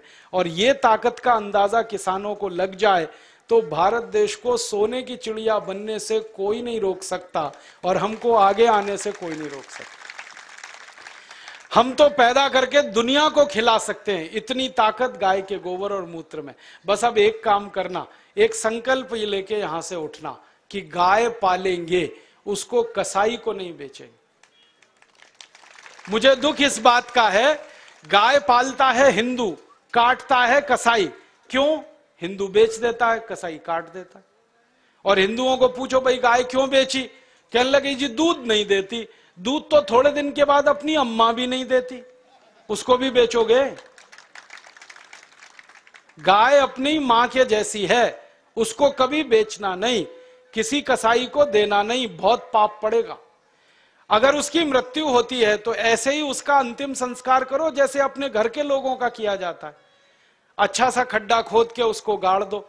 और मैं तो एक तरीका बताता हूँ कि गाय मर गई तो उसका चमड़ा कभी मत उतारना, बहुत पाप लगता है। उसको ऐसे का ऐसा ही दफन करना, खड्डा खोद के। और जहाँ गाय को दफन किया, वहाँ आम का एक पेड़ लगा देना। तीन साल में वो पेड़ इतने फल देगा कि आप तोड़ते तोड़ते थक जाएँगे। मैंने ये किया है। गाय का शरीर जिस मिट्टी में दफन हुआ, वहाँ आम का पेड़ लगा दिया। और दूर एक दूसरा आम का पेड़ लगा दिया। उस आम के पेड़ पे सौ फल आते हैं तो गाय के शरीर वाले आम के पेड़ पे 400 से 500 फल आते चार पाँच गुना ज़्यादा उत्पादन है। और आम बड़ा होता है और एकदम मीठा होता है। माने गाय ज़िंदा रहते इतनी हमारी मदद करती है, मरने के बाद भी इतनी मदद करती है। इसलिए इसको कसाई को तो देना नहीं। और गाय को काटें, उसका मांस बिके दस हज़ार रुपए। गाय को ज़िंदा रखें और उसके मूत्र से दवा बनाकर बेचें। तो साल की आमदनी दो लाख रुपए है एक गाय की। इसलिए गाय फालतू नहीं है। बहुत कीमती है, बहुत मूल्यवान। तभी तो हमारे बुज़ुर्गों ने, पुरखों ने कहा कि गाय में तैतीस करोड़ देवता हैं। ये कोई सामान्य बात नहीं है। और जो देवता है ना, उनमें गोबर में तो लक्ष्मी है और गोमूत्र में धनवंतरी है। ये अब समझ में आया? मेरी अम्मा मुझे समझाती थी, दादी, कि गोमूत्र बसते लक्ष्मी सॉरी गोमय वसते लक्ष्मी, गोमूत्रे धनवंतरी, ऐसा एक संस्कृत सूत्र हमने सीखा था। अब गाय के मूत्र में धनवंतरी, गोबर में लक्ष्मी, तब समझ में नहीं आया, अब आया कि गोबर डालते हैं, खेत में खूब अन्न पैदा होता है और बहुत महँगे दाम पर विदेशों में बिकता है तो डॉलर के डॉलर आते हैं तो लक्ष्मी ऐसे है गोबर में। और मूत्र को उपयोग करते हैं तो बीमारी मिटती है। बीमारी मिटे तो धनवंतरी ही है फिर। तो गोबर गोमूत्र में भगवान है, ये ध्यान रख के आप अपने घर में गाय लेके आओ। और मेरा तो आपको कहना है कि जर्सी गाय जो गलती से लाई हो तो तुरंत बेचो, देशी लेके आओ। जर्सी बेचोगे तो तीन देशी गाय आएगी। जर्सी खाती भी ज़्यादा है, हगती भी ज़्यादा और बिल्कुल बेकार है उसका गोबर। ना उसका गोबर काम का, ना मूत्र काम का। आप कहोगे जो दूध ज़्यादा देती है, वो दूध बिल्कुल बेकार है, कोई पीने लायक नहीं है। दुनिया के किसी देश के लोग जर्सी गाय का दूध नहीं पीते, भारत को छोड़कर। डेनमार्क में सबसे ज़्यादा जर्सी गाय है, फिर भी वो दूध नहीं पीते, क्योंकि कहते हैं इससे कैंसर होता है, अर्थराइटिस होता है। तो इस जर्सी गाय को बेच के देशी गाय लाओ और उसको पालो तो आपका ये जीवन सुधरेगा, परलोक भी सुधरेगा। और मैं तो मानता हूँ गाय का सबसे बड़ा मूल्य है सवेरे ही सवेरे सोकर उठो और गाय के चेहरे का दर्शन करो तो भगवान का दर्शन हो गया। इतना आनंद और इतनी खुशी मिलती है गाय का दर्शन करने में। आँखें देखो कितनी सुंदर हैं, चेहरा कितना सुंदर है। तो ऐसी गाय पालकर अपनी खेती सुधारो, खुद को सुधारो, देश को सुधारो, ये निवेदन करके मैं इस व्याख्यान को समाप्त करता हूँ। आपको धन्यवाद देता हूँ कि आपने बड़ी ध्यान से, गंभीरता से सुना और निवेदन करता हूँ कि ये करना ज़रूर। अच्छा ये बताओ, करोगे? कौन कौन करेगा? जरा हाथ तो उठाओ। बहुत बढ़िया।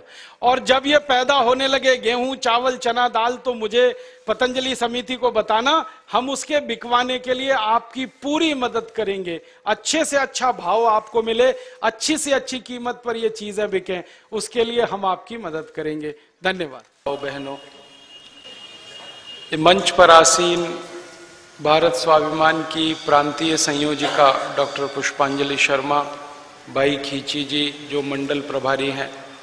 मेरे साथ मंच पर बैठे आपके नगर क्षेत्र के सम्माननीय विधायक महोदय, मैं आप सबसे इस बात के लिए क्षमा चाहता हूँ कि एक घंटा देरी से आया। और उसका कारण ये है कि मैं रात को तीन बजे यहाँ पहुँचा। तो देरी से सोकर उठा। उस कारण से आपके बीच आने में देरी हुई, माफ़ी चाहता हूँ। भारत स्वाभिमान का जो काम शुरू हुआ है पूरे देश में, इसके बारे में कुछ बातें आपसे मुझे कहनी है। पाँच जनवरी 2009 को परम पूजनीय स्वामी रामदेव जी ने भारत स्वाभिमान ट्रस्ट का गठन किया। उस दिन इस ट्रस्ट का पंजीकरण हुआ, रजिस्ट्रेशन हुआ दिल्ली में। ये ट्रस्ट का जो विस्तार है, वो भारत देश और भारत के बाहर, भारत के बाहर दूसरे देशों में भी, भारत में भी। काम करना है क्या? अपने देश की पूरी की पूरी जो व्यवस्थाएँ हैं, उनको ठीक करना है, दुरुस्त करना है।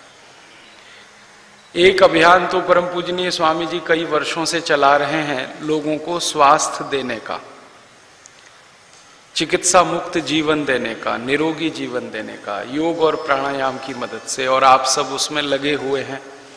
सारे देश के करोड़ों लोगों को उससे लाभ हो रहा है। अब स्वामी जी ने एक दूसरा अभियान शुरू किया है कि देश के लोगों का स्वास्थ्य अच्छा हो जाए लोग निरोगी हो जाएँ चिकित्सा मुक्त हो जाएँ, रोग मुक्त हो जाएँ और हर साल जो छः साढ़े छः लाख करोड़ रुपए बर्बाद होता है इस देश में चिकित्सा व्यवस्था पर वो पैसा खर्च होना बंद हो जाए। परम पूजनीय स्वामी जी की ऐसी मंशा है ऐसा उनका आग्रह है कि इस देश में कोई भी व्यक्ति रोग से ना मरे। मरना तो सभी को है, जीवन तो सबका निश्चित है, लेकिन कोई रोगी ना मरे। हंसता, खेलता, स्वस्थ आदमी इस दुनिया को छोड़कर जाए, ऐसी उनकी मन में कल्पना है। उसके लिए रात दिन वो मेहनत कर रहे हैं, आप सब देख रहे हैं। करोड़ों लोगों को उन्होंने शिविरों के माध्यम से प्राणायाम सिखाया है, योग सिखाया है, और भारत में ही नहीं, भारत के बाहर भी। और उससे भी बड़ी बात है कि जिन्होंने सीखा है और किया है, वो सब बोलते हैं कि हमें बहुत फ़ायदा हुआ है। लाखों करोड़ों लोगों के ब्लड प्रेशर ठीक हो गए हैं, लाखों करोड़ों लोगों को हृदय की तकलीफें ठीक हो गई हैं, लाखों करोड़ों लोगों को घुटने का दर्द, कमर का दर्द ठीक हो गया है, हज़ारों हज़ार लोगों का कैंसर मिट गया है, जो दुनिया में ठीक नहीं होता। गंभीर बीमारियाँ जो मानी जाती हैं जेनेटिक बीमारियाँ जो मानी जाती हैं, वो भी ठीक हो रही हैं। तो ये बहुत अच्छे से काम चल पड़ा है और आप योग शिक्षक इसमें तन मन धन से लगे हैं। आप इसके लिए बधाई के पात्र हैं। अब स्वामी जी को ऐसा लगता है कि लोगों का स्वास्थ्य अच्छा हो जाए, उसके साथ साथ देश का स्वास्थ्य भी अच्छा हो। लोगों की बीमारी की जो समस्या है वो ठीक हो जाए तो देश की दूसरी समस्याएँ भी ठीक हों। हमारे देश में गरीबी है, हमारे देश में भूखमरी है, बेरोजगारी है, हमारे देश में आज़ादी के बाद भी अत्याचार है जो हमारे ऊपर होता है, शोषण है, ये देश की समस्याएँ भी ठीक हों। ये अब उनके मन में आया है। तो लोगों की बीमारियों की जो समस्याएँ हैं उनको ठीक करने के लिए पतंजलि योगपीठ ट्रस्ट बना है, जो लगभग पंद्रह साल से काम करता है। और उसके नीचे पतंजलि योग समितियाँ बनी हुई हैं, जो देश भर में काम करती हैं। आपकी रतलाम समिति एक है। इसी तरह से स्वामी जी ने देश की समस्याओं को ठीक करने के लिए, सुधारने के लिए एक दूसरा ट्रस्ट बना दिया, भारत स्वाभिमान। और इसका मुख्य उद्देश्य है कि देश की व्यवस्थाओं को ठीक करना। गरीबी, बेकारी, भूखमरी, अत्याचार, मारामारी, शिक्षा का प्रश्न, ये सारे प्रश्नों को इसमें हल करना। इस ट्रस्ट में परम पूजनीय स्वामी जी अध्यक्ष हैं, आचार्य बालकृष्ण जी इसके महामंत्री हैं। मुझे स्वामी जी ने राष्ट्रीय सचिव का दायित्व दे रखा है। सारे देश में दो लाख चालीस हज़ार अपने योग शिक्षक हैं। जो इस काम से जुड़े हैं। अगले साल जनवरी तक 11 लाख योग शिक्षक इस काम से जुड़ जाएँगे। इसके लिए काम तैयारी चल रही है। आप अगर आस्था चैनल में देखते होंगे तो हर हफ़्ते एक शिविर होता है हरिद्वार में अलग अलग राज्यों का। अभी थोड़े दिन पहले शिविर खत्म हुआ आंध्र प्रदेश का, उसके पहले उड़ीसा का, उसके पहले हुआ दिल्ली, हरियाणा, पंजाब, राजस्थान, छत्तीसगढ़, झारखंड ऐसे कई राज्यों के शिविर हुए। आने वाले समय में मध्य प्रदेश का शिविर होने वाला है, सितंबर में। बंगाल का शिविर होने वाला है, अन्य राज्यों के शिविर होने वाले हैं। तो हर सप्ताह में पाँच छः दिन के शिविर होते हैं हरिद्वार में। और परम पूजनीय स्वामी जी खुद उस शिविर में सबको सिखाते हैं, बताते हैं। एक शिविर में छह से सात हज़ार लोग आते हैं। ऐसे जनवरी तक शिविर चलने वाले हैं तो इन शिविरों के माध्यम से लगभग 11 लाख लोग इस अभियान से जुड़ेंगे। ऐसी कोशिश हो रही है। फिर क्या हो रहा है? जनवरी के बाद स्वामी जी पूरे भारत के दौरे पे निकलना है, निकलने की तैयारी कर रहे हैं। एक एक ज़िले में एक एक दिन के लिए वो जाने वाले हैं। 680 ज़िले हैं इस देश में। तो लगभग 680 दिन का प्रवास स्वामी जी का होने वाला है। और उस समय जो सभाएँ होंगी, जो कार्यक्रम होंगे, उनके माध्यम से पाँच करोड़ लोगों को जोड़ने की योजना है। आप जानते हैं कि ये संगठन हमने बनाया है और इसको बड़ा कर रहे हैं तो इसके पीछे कोई बड़ा उद्देश्य है। बड़े संगठन बड़े काम के लिए होते हैं। तो ये संगठन इतना बड़ा, पाँच करोड़ लोगों का होने जा रहा है अगले दो साल में तो इसके पीछे कोई बड़ा उद्देश्य है। वो उद्देश्य यही है कि अपने देश की व्यवस्थाओं को ठीक करना है। किन व्यवस्थाओं को ठीक करना है? हमारे रोज के जीवन में जो तकलीफ़ पैदा करने वाली सबसे बड़ी व्यवस्था है, जिसको हम अर्थव्यवस्था कहते हैं, उसको पहले ठीक करना है। फिर हमारे देश में जो भ्रष्टाचार फैलाने वाली राजनीतिक व्यवस्था है, उसको ठीक करना है। फिर हमारे देश में कानून और न्याय को देने वाली जो न्यायिक व्यवस्था है, उसको ठीक करना है। हमारी प्रशासन व्यवस्था को ठीक करना है। हमारे देश की जो शिक्षा व्यवस्था है, उसको ठीक करना है। ऐसे करके सभी व्यवस्थाओं को ठीक करने के नौ उद्देश्य हैं। उनके लिए ये भारत स्वाभिमान अभियान है। आपके मन में सवाल आएगा, क्या अपनी व्यवस्थाएँ ठीक नहीं है? हाँ ऐसा ही है। अर्थव्यवस्था से मैं बात शुरू करता हूँ। अपने देश को आज़ाद हुए लगभग बासठ साल हो गए, तिरसठवां साल शुरू हो गया। अब आज़ादी के बासठ, तिरसठ साल के बाद भी इस देश की अर्थव्यवस्था में सबसे गंभीर समस्या है गरीबी। बेरोजगारी। आप अगर मुझसे पूछेंगे कि ये समस्या कितनी बड़ी है, एक उदाहरण से बताता हूँ। हमारे देश की जो सरकार चलती है दिल्ली में, जिसको हम केंद्र सरकार कहते हैं, इस केंद्र सरकार ने अभी थोड़े दिन पहले एक कमीशन बनाया था, एक आयोग बिठाया था, और उस आयोग का अध्यक्ष बनाया प्रोफेसर अर्जुन सेन गुप्ता नाम के एक बहुत विद्वान व्यक्ति को। प्रोफेसर अर्जुन सेन गुप्ता कलकत्ता में रहते हैं, बहुत बड़े विद्वान व्यक्ति हैं। इस देश में अर्थशास्त्र के विशेषज्ञ माने जाते हैं। जब श्रीमती इंदिरा गांधी इस देश में प्रधानमंत्री हुआ करती थी तो प्रोफेसर अर्जुन सेन गुप्ता उनके योजना आयोग के उपाध्यक्ष हुआ करते थे, श्रीमती गांधी के। बहुत साल तक प्रोफेसर अर्जुन सेन गुप्ता बंगाल सरकार में वित्त मंत्री रहे। दुनिया भर के 40 से ज़्यादा विश्वविद्यालयों में लेक्चर्स देने जाते हैं। बहुत विद्वान आदमी है। दुनिया उनका सम्मान करती है। तो भारत सरकार ने उनसे कहा कि आप पाँच साल एक अध्ययन करो, अभ्यास करो और ये बताओ कि गरीबी कितनी है, बेकारी कितनी है, भुखमरी कितनी है। आर्थिक समस्याएँ हमारी बताओ। तो उन्होंने बड़ी मेहनत करके एक रिपोर्ट बनाई है, बड़ी मोटी है। वो रिपोर्ट पिछले साल संसद में पेश हुई। फिर मुझे भी मिल गई पढ़ने को। तो उस रिपोर्ट में उन्होंने लिखा है कि भारत में चौरासी करोड़ लोग भयंकर गरीबी में रहते हैं।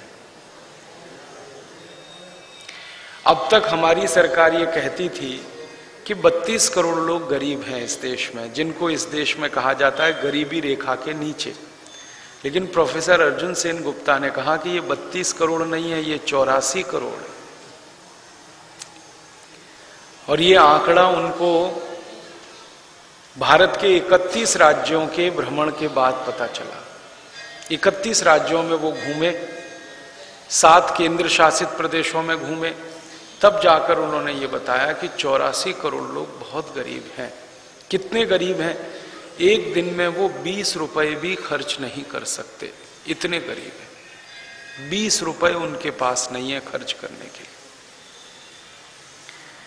उन्होंने उस रिपोर्ट में बताया कि चौरासी करोड़ लोगों में पचास करोड़ तो इतने गरीब हैं कि एक दिन में पंद्रह रुपए भी खर्च नहीं कर सकते। उन्होंने कहा, चौरासी करोड़ में से 25 करोड़ तो इतने गरीब हैं जो एक दिन में 10 रुपया भी खर्च नहीं कर सकते। और करीब 15 करोड़ लोग तो इतने गरीब हैं जो एक दिन में पाँच रुपए भी खर्च नहीं कर सकते। और सात करोड़ लोग इतने गरीब हैं जो एक दिन में एक रुपया खर्च नहीं कर सकते, सात करोड़। इतनी गरीबी इस देश में है। प्रोफेसर अर्जुन सेन गुप्ता बताते हैं अपनी रिपोर्ट में कि भारत के दिल्ली, बंबई, हैदराबाद, सिकंदराबाद, बेंगलोर, मद्रास, कुछ बड़े शहरों को छोड़ दिया जाए और गाँव की तरफ़ निकल जाएँ हम देखने के लिए तो गरीबी का महासागर है इस देश में। ये कुछ बड़े बड़े शहर हैं जिनकी संख्या 20-50 से ज़्यादा नहीं है, जहाँ कुछ अमीरी दिखाई देती है, बाकी देश तो गरीबी में डूबा हुआ है। ये पहली बार देश को पता चला कि चौरासी करोड़ लोग गरीब हैं। मेरे को भी पता चला उसके बाद। मैं तो ये सोचता था बत्तीस करोड़। और उससे भी ज़्यादा गंभीर बात मुझे जो दूसरी पता चली, जिसने भारत स्वाभिमान अभियान को बनाने में भूमिका निभाई कि ये गरीबी आज़ादी के बाद लगातार बढ़ रही है, कम नहीं हो रही है। जब हम आज़ाद हुए 15 अगस्त 1947 को, उस समय के आंकड़े हैं कि साढ़े चार करोड़ लोग गरीब थे इस देश में। अब आज़ादी के बासठ साल के बाद चौरासी करोड़ लोग गरीब हैं। क्या भयावह परिस्थिति है। आज़ादी के बासठ साल में 11 पंचवार्षिक योजनाएँ बनी हैं गरीबी दूर करने के लिए। 11 योजनाएँ बनी। और हर योजना में गरीबी दूर करने के लिए 10 लाख करोड़ रुपए खर्च होता है। एक योजना बनती है ना पंचवार्षिक, जिसको आप फाइव ईयर प्लान कहते हैं। उसका सबसे प्रमुख मुद्दा होता है गरीबी हटाना, गरीबी मिटाना। उसके लिए 10 लाख करोड़ का बजट होता है, एक योजना का। ऐसी 11 योजनाएँ बन चुकी हैं। माने 110 लाख करोड़ रुपए खर्च हो चुका है, लेकिन गरीबी बढ़ती ही जा रही है लगातार। साढ़े चार करोड़ से अब चौरासी करोड़ हो गए। मेरे जैसे लोग ऐसा सोचते थे कि जब हम आज़ाद हुए तो हम गरीब इसलिए थे कि अंग्रेज़ों ने हमको लूटा। ढाई सौ साल इस देश पर उन्होंने शासन किया। लूट लूट के सारा धन उन्होंने लंदन में जमा कर लिया। तो हम गरीब हो गए, साढ़े चार करोड़। लेकिन आज़ादी के बासठ साल के बाद तो चौरासी करोड़ लोगों की गरीबी। ये बात हमको पच नहीं पाई, हजम नहीं हो पाई। तो हमने इस दिशा में शोध करना शुरू किया कि आखिर इसका कारण क्या है? तो हमारे देश के लोगों के दिमाग में कुछ कारण हैं। उनमें से एक है, वो आपके मन में भी आता है। मुझे बहुत लोग सवाल करते हैं। वो ये कहते हैं कि राजीव भाई, गरीबी इसलिए है कि जनसंख्या बढ़ रही है हमारी। बहुत तेज़ी से बढ़ रही है। हमारी सरकार बताती है कि ऑस्ट्रेलिया नाम का एक देश, जिसकी जनसंख्या एक करोड़ अस्सी लाख है, इतनी संख्या हर साल हमारे देश में बढ़ जाती है। माने एक ऑस्ट्रेलिया देश इस देश में शामिल हो जाता है हर साल। तो इसका मैंने जानने का कोशिश की, अभ्यास किया तो पता चला जनसंख्या कोई बहुत ज़्यादा नहीं बढ़ रही है। उन्नीस में हम 32 करोड़ थे 33 करोड़ के आसपास थे 32 करोड़ 80 लाख 33 करोड़ थे। अब 2009 में हम 115 करोड़ हैं। इसका माने जनसंख्या साढ़े तीन गुनी बढ़ी है। तो गरीबी भी साढ़े तीन गुनी बढ़नी चाहिए। तो गरीबी इस समय पंद्रह करोड़ के आसपास होनी चाहिए। अब ये समझ में नहीं आता कि जनसंख्या तो साढ़े तीन गुनी बढ़ी, गरीबी 21 गुनी कैसे बढ़ गई? ये समझ में नहीं आता।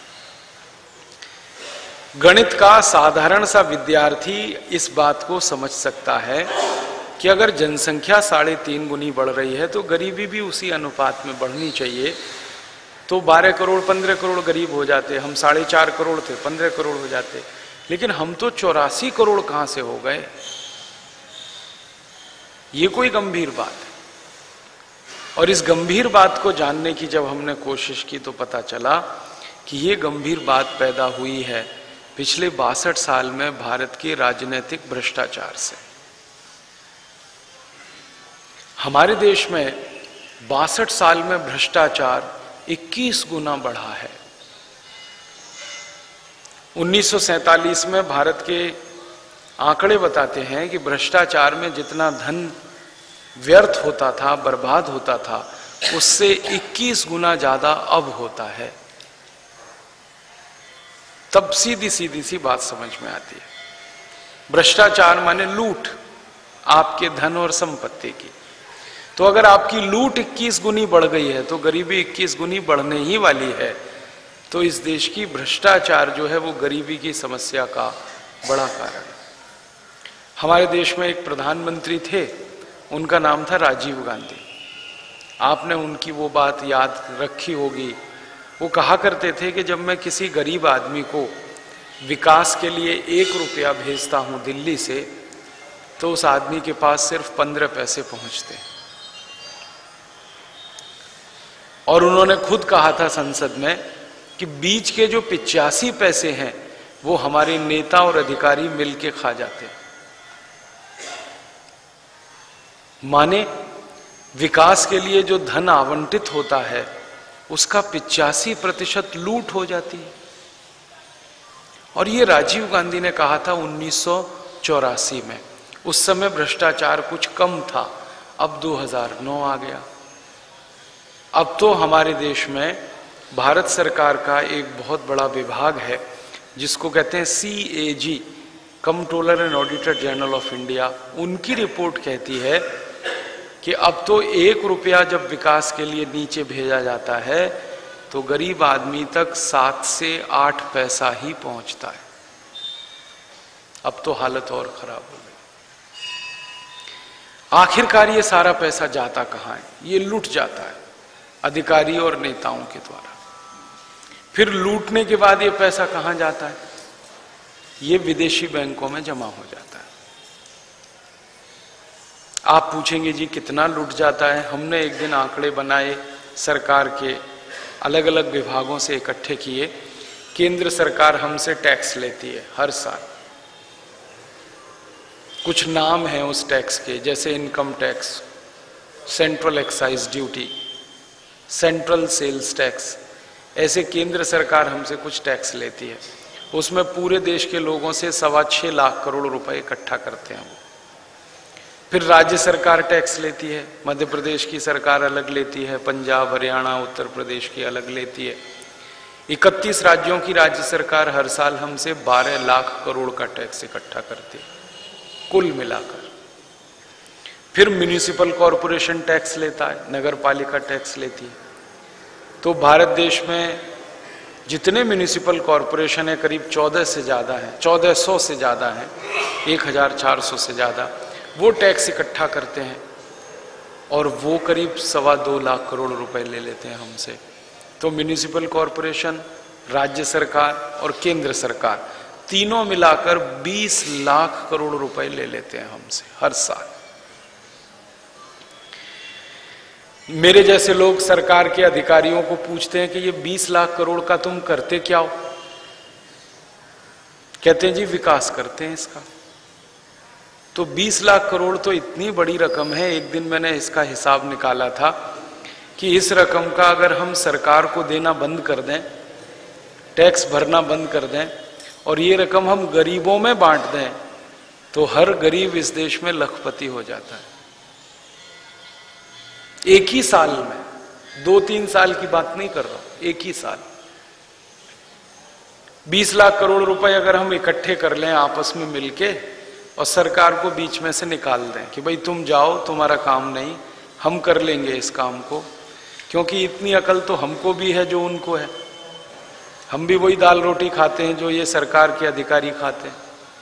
कोई बहुत होशियार तो है नहीं, हमारे ही बीच में से गए हैं। तो अगर इनको बाहर कर दें और 20 लाख करोड़ से देश के विकास की योजना बनाएँ तो मैंने एक दिन सोचा कि 20 लाख करोड़ का सोना खरीद लें, मान लो। इतना सोना आता है कि छह लाख पैंतीस हज़ार तीन सौ पैंसठ गाँवों की एक एक सड़क सोने से बन सकती है। माने 20 लाख करोड़ की रकम में जो हम उद्योग लगाएँगे, फैक्ट्री जिसको आप कहते हैं अंग्रेज़ी में कारखाना। तो इतने कारखाने लगेंगे कि 60 करोड़ लोगों को रोज़गार मिल जाएगा इस देश में।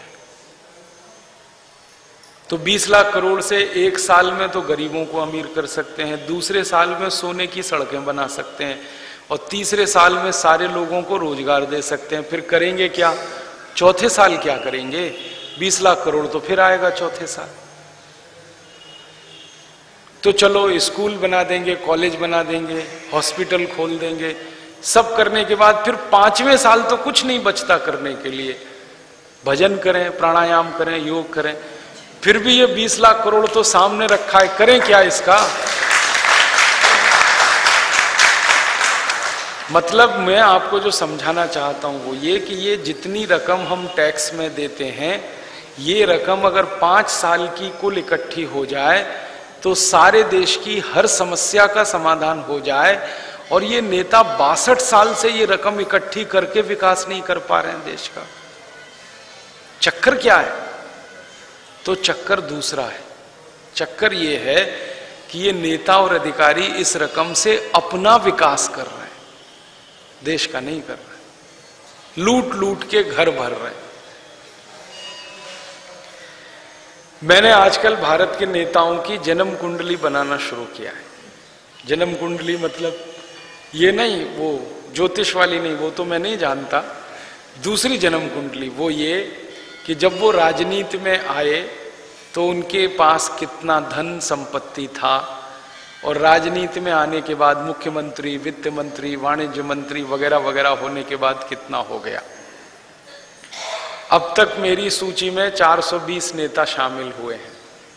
और ये सब ऊँचे स्तर के हैं, छोटे स्तर वाले, बात नहीं कर रहा हूँ। ये तो जो केंद्र में रह चुके हैं, कोई मंत्री, कोई कुछ कोई कुछ, उनकी बात कर रहा हूँ। राज्य का तो अभी नंबर ही नहीं।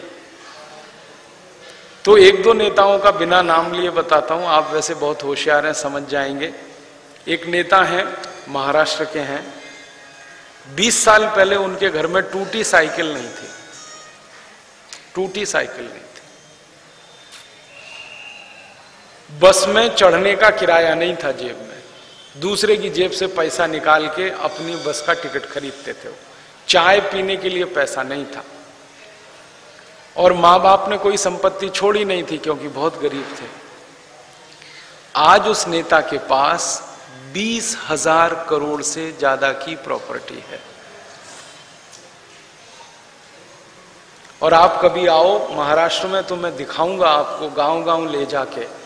बंबई से पूना के बीच की दूरी 170 किलोमीटर है।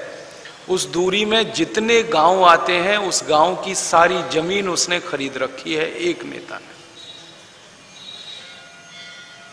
हज़ारों हेक्टेयर ज़मीन एक नेता के नाम है, जिसके पास 20 साल पहले टूटी साइकिल नहीं थी। और ज़मीन के कागजात जब हमने इकट्ठे किए तो उसके कुत्ते बिल्लियों के नाम से ज़मीन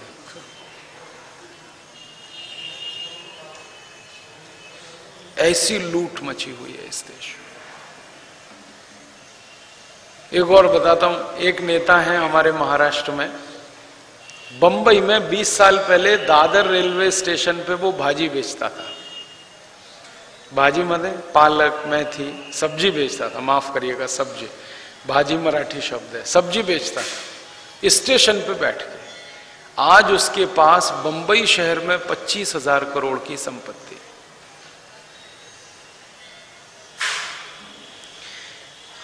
बीस साल पहले एक नेता महाराष्ट्र के नासिक में सिनेमा का टिकट ब्लैक करता था। सिनेमा का टिकट ब्लैक करता था। आज उसके पास पूरे महाराष्ट्र में तीस हज़ार करोड़ की संपत्ति और ये जो नेता है ना, इनके कुछ एजेंट होते हैं। तो ये जो तीनों नेता है ना, इनका एक एजेंट है पूना में। उसको एक बार हम मिले थे। वो कहता है कि मेरे पास बहत्तर हज़ार करोड़ की संपत्ति है। तीनों का बाप है वो। और थोड़े दिन पहले सीबीआई ने बताया सीबीआई आप जानते हैं इस देश की जाँच करने वाली संस्था, और एक दूसरी संस्था है research and analysis wing R A W raw और एक संस्था है एनफोर्समेंट डायरेक्टरेट प्रवर्तन निदेशालय। ये तीनों बोलते हैं कि उस एजेंट का स्विट्जरलैंड की बैंक में खाता है, उसमें बहत्तर हज़ार करोड़ जमा है। जब हम उसको मिले थे तो पूछा, भाई, तुम्हारा बहत्तर हज़ार करोड़ कैसे हो गया?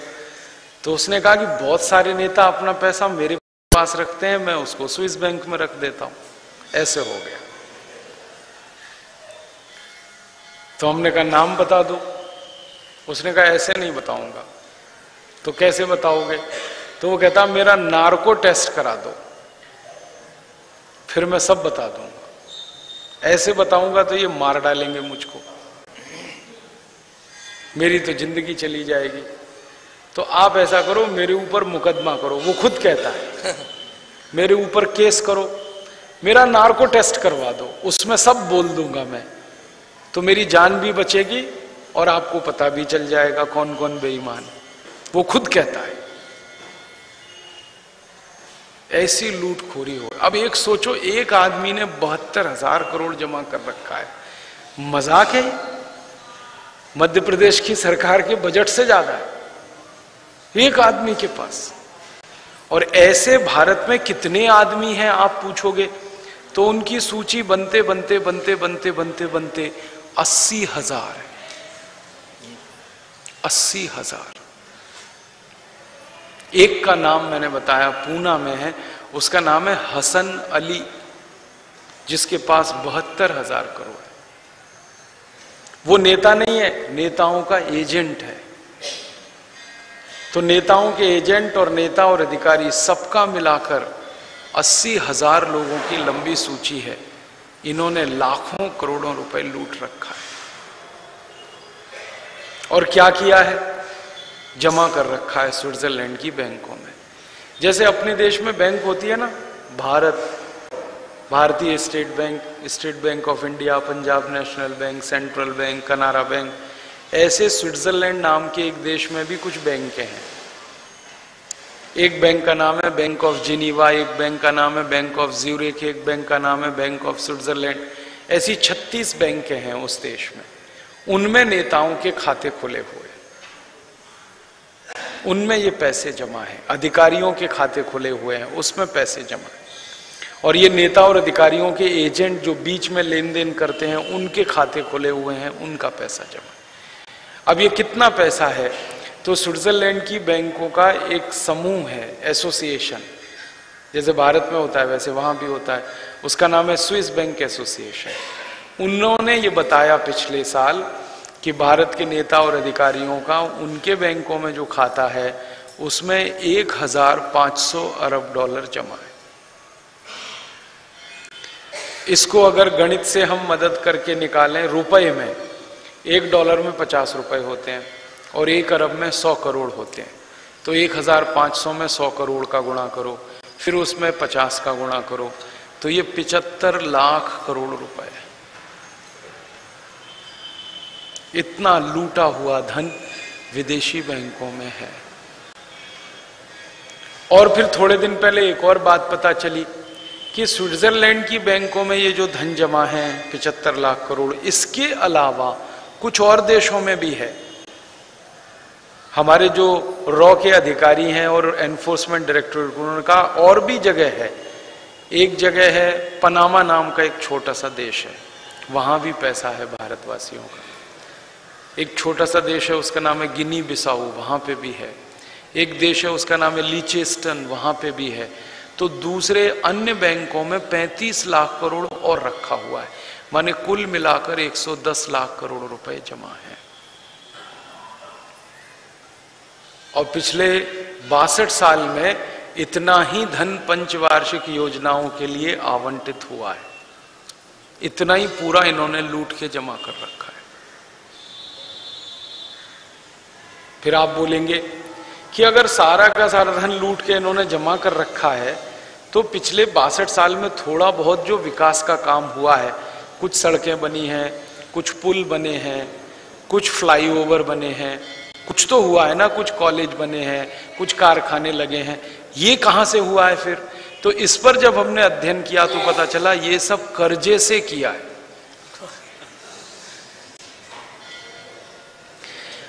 हमारा आपका पैसा जो टैक्स का था, वो तो सब लूट के जमा कर दिया स्विस बैंक में।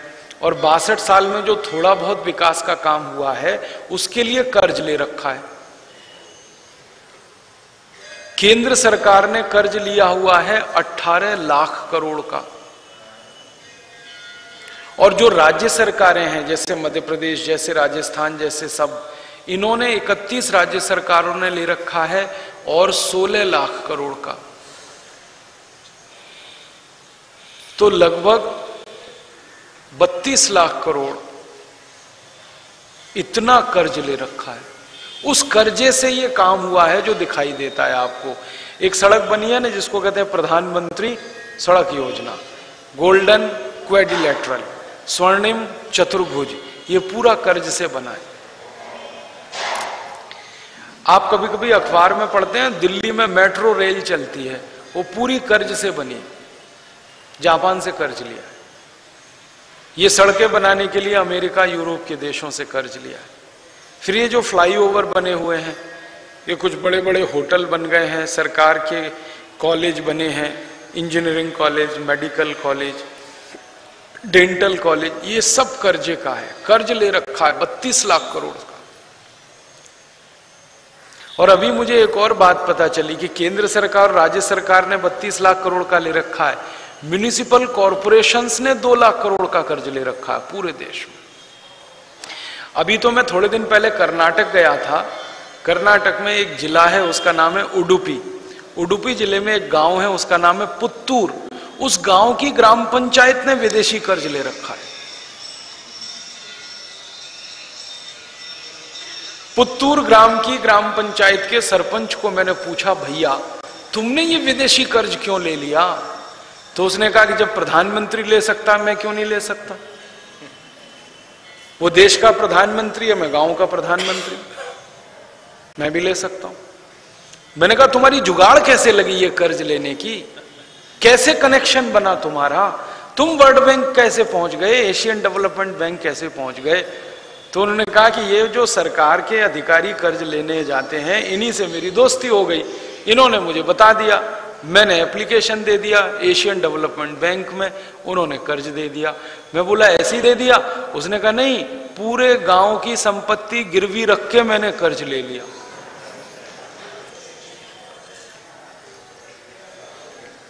और ये जो पुत्तूर गाँव है ना, ये बड़ा अच्छा गाँव है। आप पूछेंगे, क्या अच्छाई है?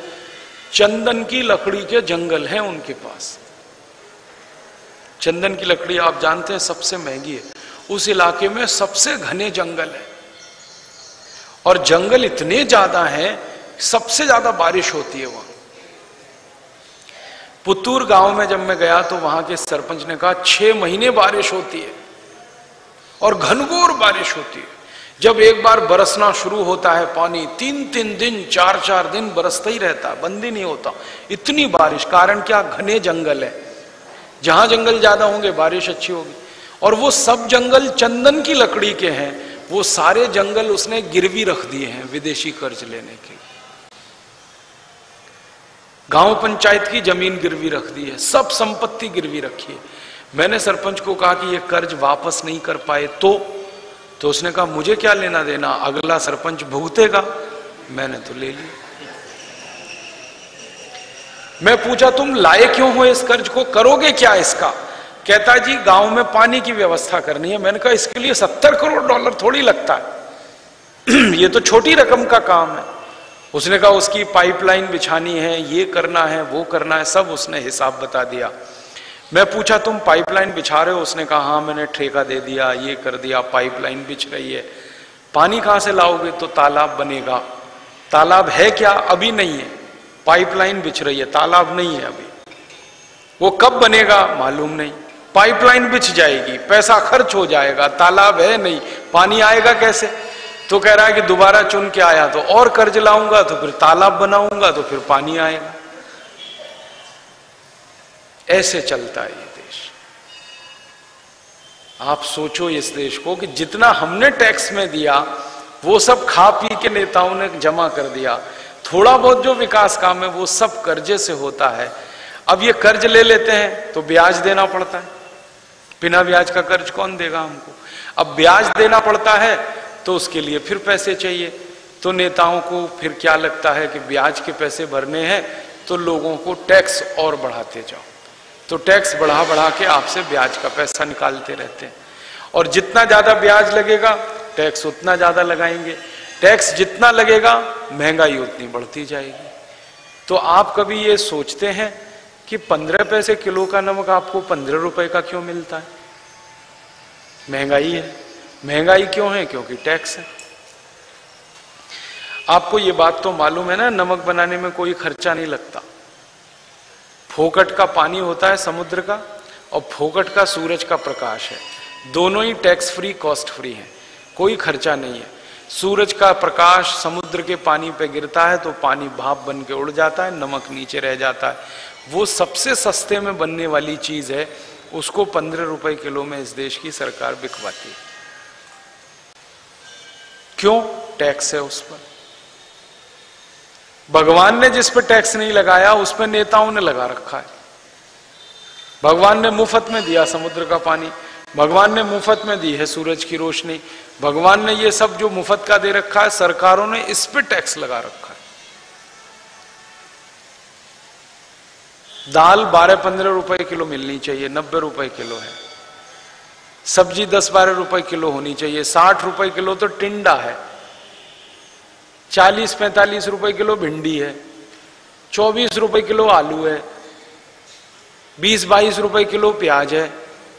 क्या खाएँ, क्या बनाएँ? गरीबों के घर में तो आजकल ये आलम है, ये दर्शन है कि वो दाल का तो नाम सुनते हैं बस, नब्बे रुपए किलो खाएँ कैसे? पैसे ही नहीं, एक दिन में बीस रुपए की आमंदनी है। अब बीस रुपए की आमंदनी में एक किलो आटा भी नहीं आता, छब्बीस रुपए किलो आटा है। कहाँ से गरीब खाएँ? तो चौरासी करोड़ गरीबों की ज़िंदगी तो नरक हो गई है इस देश में। और नरक तो आपकी भी है, बस आप बोलते नहीं है। कसमसाहट तो सबके घरों में है। मुझे लोग कहते हैं कि पहले घर का खर्चा पाँच हज़ार में चलता था, अब पंद्रह हज़ार भी पूरे नहीं पड़ते। पाँच हज़ार में घर का खर्च चलता मेरे पिताजी एक दिन मुझे बताने लगे, वो सरकारी नौकरी में थे तो वो कहते थे, जब मेरी पहली पोस्टिंग हुई थी तो ढाई सौ रुपए की तनख्वाह मिली थी। और मेरे पिताजी कहते हैं कि ढाई सौ की तनख्वाह में, महीने की तनख्वाह दो सौ पचास रुपए थी। महीने की तनख्वाह में घर का सारा खर्च निकाल के हम सब लोगों का सारा खर्च निकाल के पिताजी कहते थे, उन्होंने दो तोला सोना खरीदा था। और वो कहते हैं, हर महीने खरीदता था, दो तोले सोना। इतने पैसे बचते थे।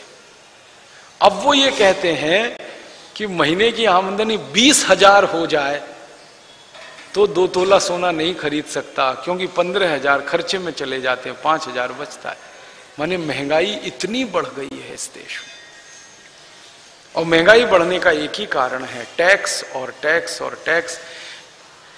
जब आज़ादी मिली थी तो इस देश में 22-23 तरह के टैक्स थे अंग्रेज़ों के लगाए हुए। अब आज़ादी के बाद चौसठ तरह के टैक्स हैं इस देश में।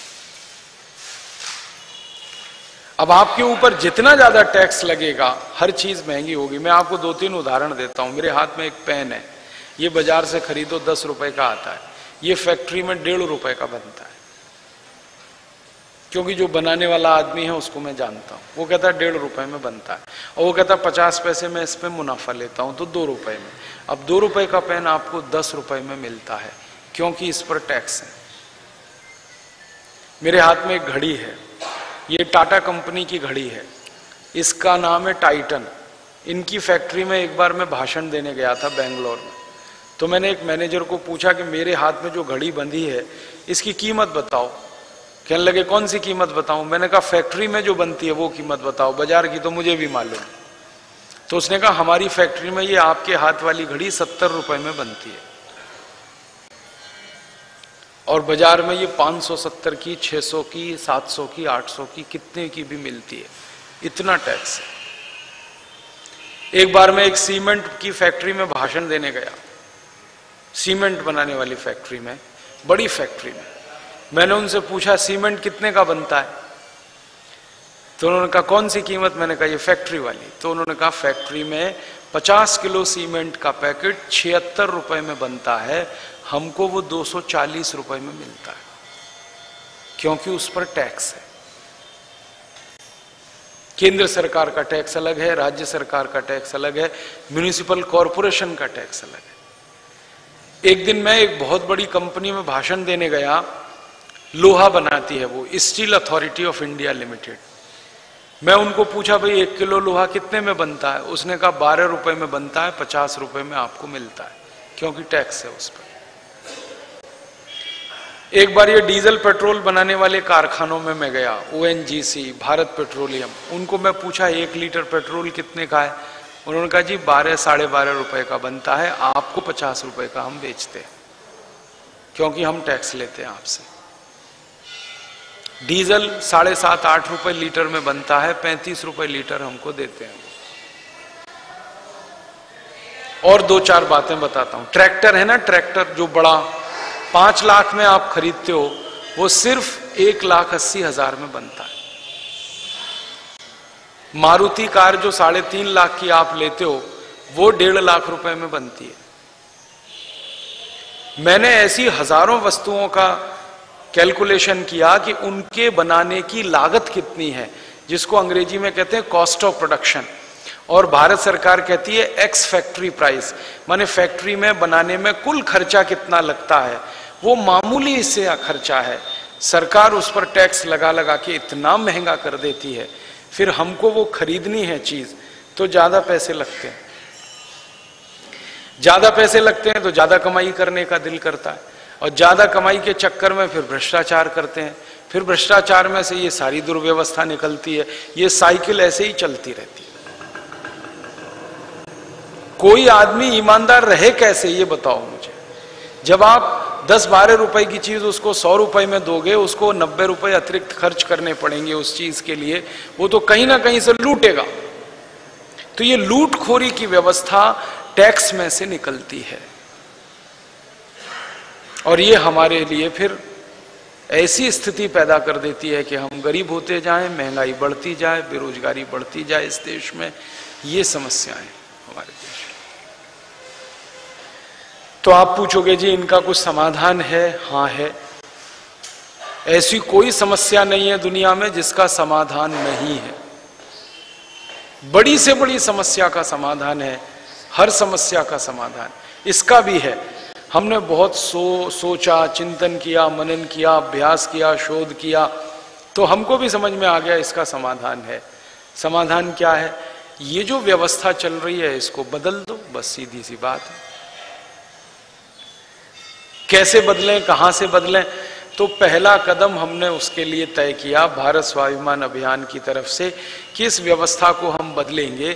तो पहला काम हम जो करने जा रहे हैं, वो ये कि नेताओं ने, अधिकारियों ने जो बासठ साल में लूट लूट के 110 लाख करोड़ जमा किया है, इसको पहले वापस लाएँगे भारत में।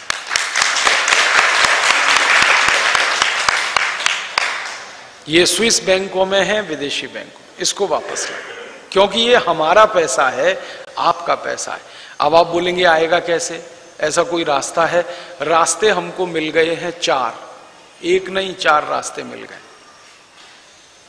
वो कहते हैं ना, जो लोग अपनी मदद करते हैं, भगवान भी उनकी मदद करता भगवान ने हमको चार रास्ते बता दिए। अकल आ गई हमको, रास्ते दिख गए। पहला रास्ता ये है कि ये जो सारा धन जमा है ना, विदेशी बैंकों में, ये जमा है निजी संपत्ति के रूप में, प्राइवेट प्रॉपर्टी, निजी संपत्ति। किन की? नेताओं और अधिकारियों की। अगर इस पैसे को निजी संपत्ति से राष्ट्रीय संपत्ति बना दिया जाए तो ये वहाँ रह ही नहीं सकता पैसा। क्योंकि स्विस बैंकों में और दुनिया के दूसरे बैंकों में कानून है कि किसी भी देश के राष्ट्रीय संपत्ति विदेशी बैंकों में नहीं रख सकते।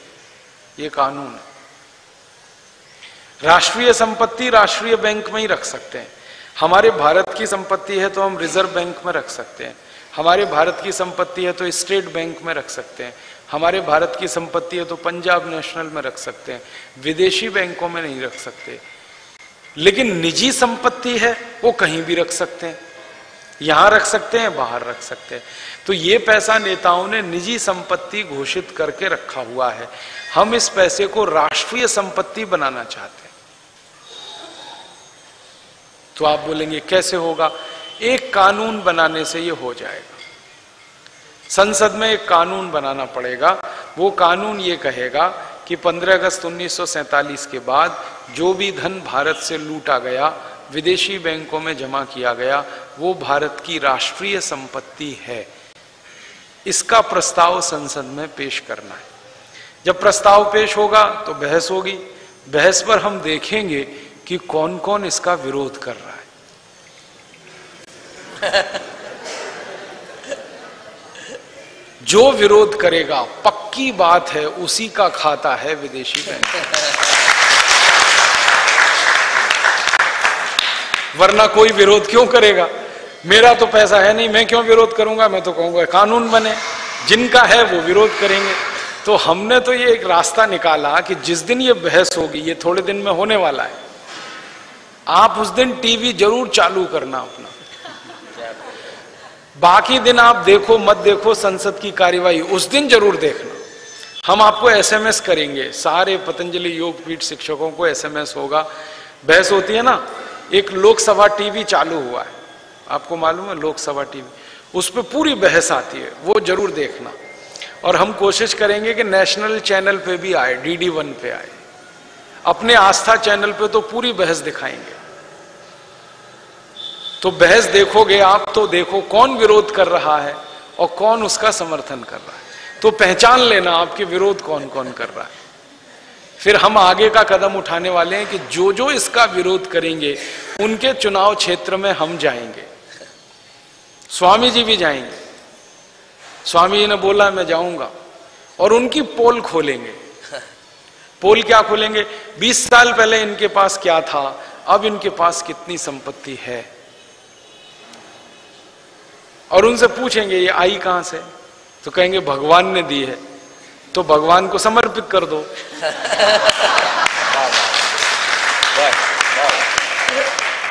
भाई, यही तो कहेंगे ना, भगवान ने दी है तो भगवान को समर्पित कर दो। और भगवान जिसको देंगे, उसको देंगे। भगवान देश के लिए कहेंगे तो देश का खर्चा करेंगे उसमें से। तो ऐसे करके ये एक रास्ता है संसद से कानून बनाने का। दूसरा, आप ये बोलोगे, ये मानेंगे ही नहीं। मान लो संसद में सब विरोध करेंगे, एक भी समर्थन नहीं करे, ऐसा भी हो सकता है। बिल्कुल हो सकता है। सबके सब विरोध करें, एक भी हमारी बात का समर्थन ना करे, तब क्या करेंगे हम? तब हमने दूसरा संकल्प लिया है कि फिर एक नई संसद हम बनाएँगे।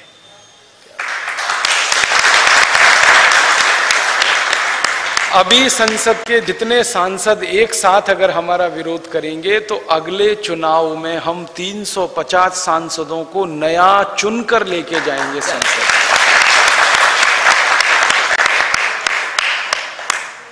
और जो नए सांसद चुन के आएँगे, वो समाज के ऐसे लोग होंगे जो ईमानदार, कर्मठ, निष्ठावान, जिनके जीवन में अंदर बाहर सब एक जैसा है। और अभी भारत में ईमानदार लोग मर नहीं गए सब, अभी भी हैं। उन्हीं के कारण तो दुनिया चल रही है, नहीं तो वो सब घटाटोप हो जाता। अभी भी ईमानदार हैं। तो जो ईमानदार लोग हैं, नैतिकता वाले हैं, चरित्रवान हैं, कर्मठ हैं, जिनकी ज़िंदगी में पारदर्शिता बहुत है, ऐसे लोगों को चुनकर साढ़े तीन सौ, चार सौ जितना भी है अधिक से अधिक लेके आएँगे और फिर ये प्रस्ताव पारित कराएँगे। फिर देखें कौन रोकता है। तो हमारी तैयारी ये है। और हमने तो यहाँ तक तैयारी की है कि संसद में ही नहीं, विधानसभाओं में 31 राज्यों की सब नए विधायकों विधायकों को चुन के लाएँ और इन भ्रष्टाचारी बेईमानों को सबको हराएँगे।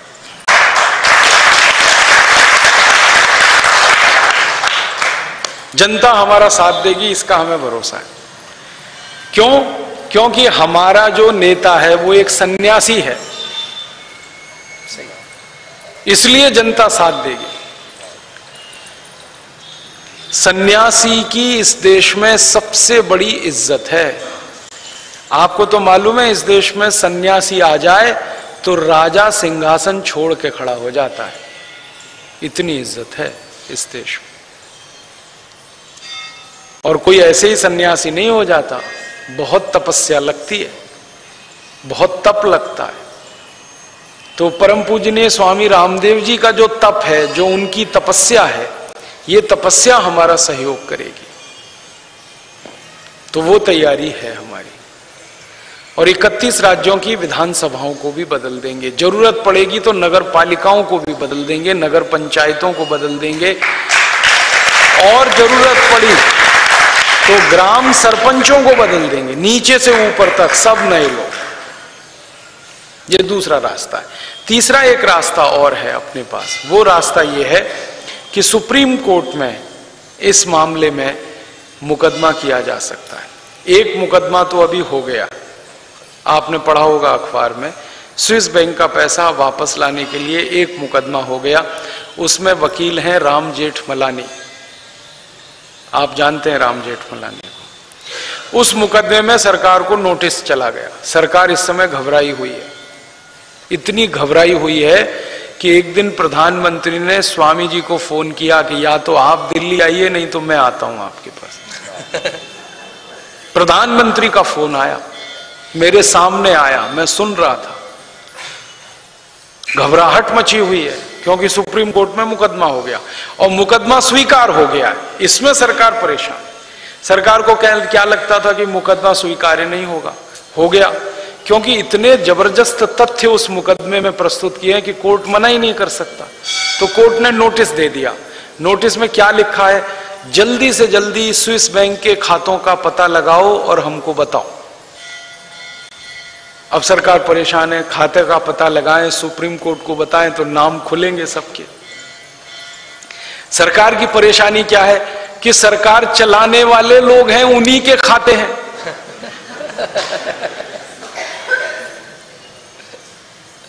तो उन्होंने पता है स्वामी जी को क्या कहा? आप थोड़ा समय दे दो हमको। दो चार महीने, छह महीने।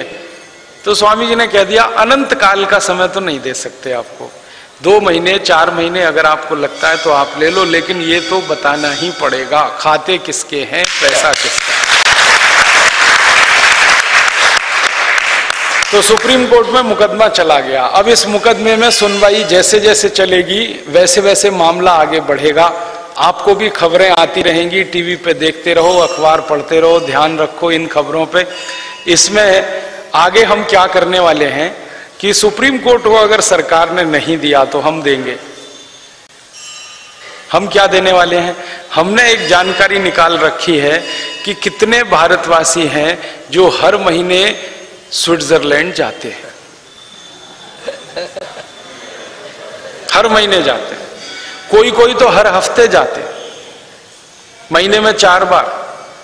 और उनके वीज़ा दिल्ली से और मुंबई से जारी होते हैं। आप जानते हैं, हर एक देश की एक एम्बेसी होती है। तो स्विस गवर्नमेंट की एम्बेसी है, वो वीज़ा देती है। हमने वो जानकारी निकाल रखी है कि वीज़ा कितने ये दे रहे हैं एक महीने में, दो महीने में, तीन महीने में, साल भर में। पिछले साल बानवे हज़ार वीज़ा दिए उन्होंने स्विट्जरलैंड जाने के लिए। पिछले साल। वो बानवे हज़ार वीज़ा का हमने डिटेल पता किया तो पता चला कि बारह हज़ार वीज़ा थे जो हनीमून मनाने गए थे उनके हैं। तो उनको छोड़ दो भाई।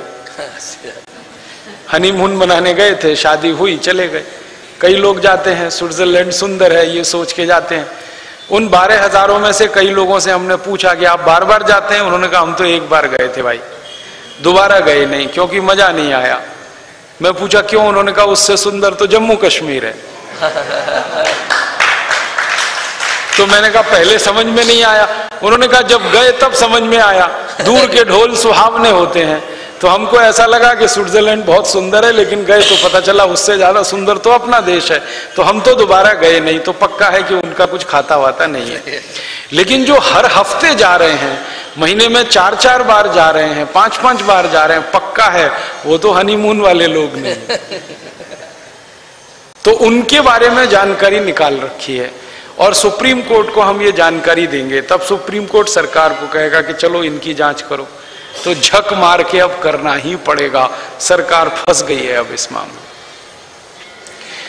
और इस सरकार ने वायदा भी किया है। आपको मालूम है, ये सरकार जो चल रही है, इसके एक नेता हैं, उनका नाम है राहुल गांधी। उन्होंने ऐलान किया था चुनाव के पहले, वो रिकॉर्ड करके हमने रखा है। इन्होंने कहा था कि अगर हमारी सरकार बनी तो हम स्विस बैंक का पैसा लाएँगे। और अडवाणी ने भी कहा था, याद है लाल कृष्ण अडवाणी ने, कि हमारी बनी तो हम भी लाएँगे। फिर एक ऐलान किया था शरद यादव ने कि हमारी सरकार बनी तो हम लाएँगे। फिर एक ऐलान किया सीताराम येचुरी और प्रकाश करात ने कि हमारी बनी तो हम लाएँगे। तो ये सब ऐलान कर चुके हैं।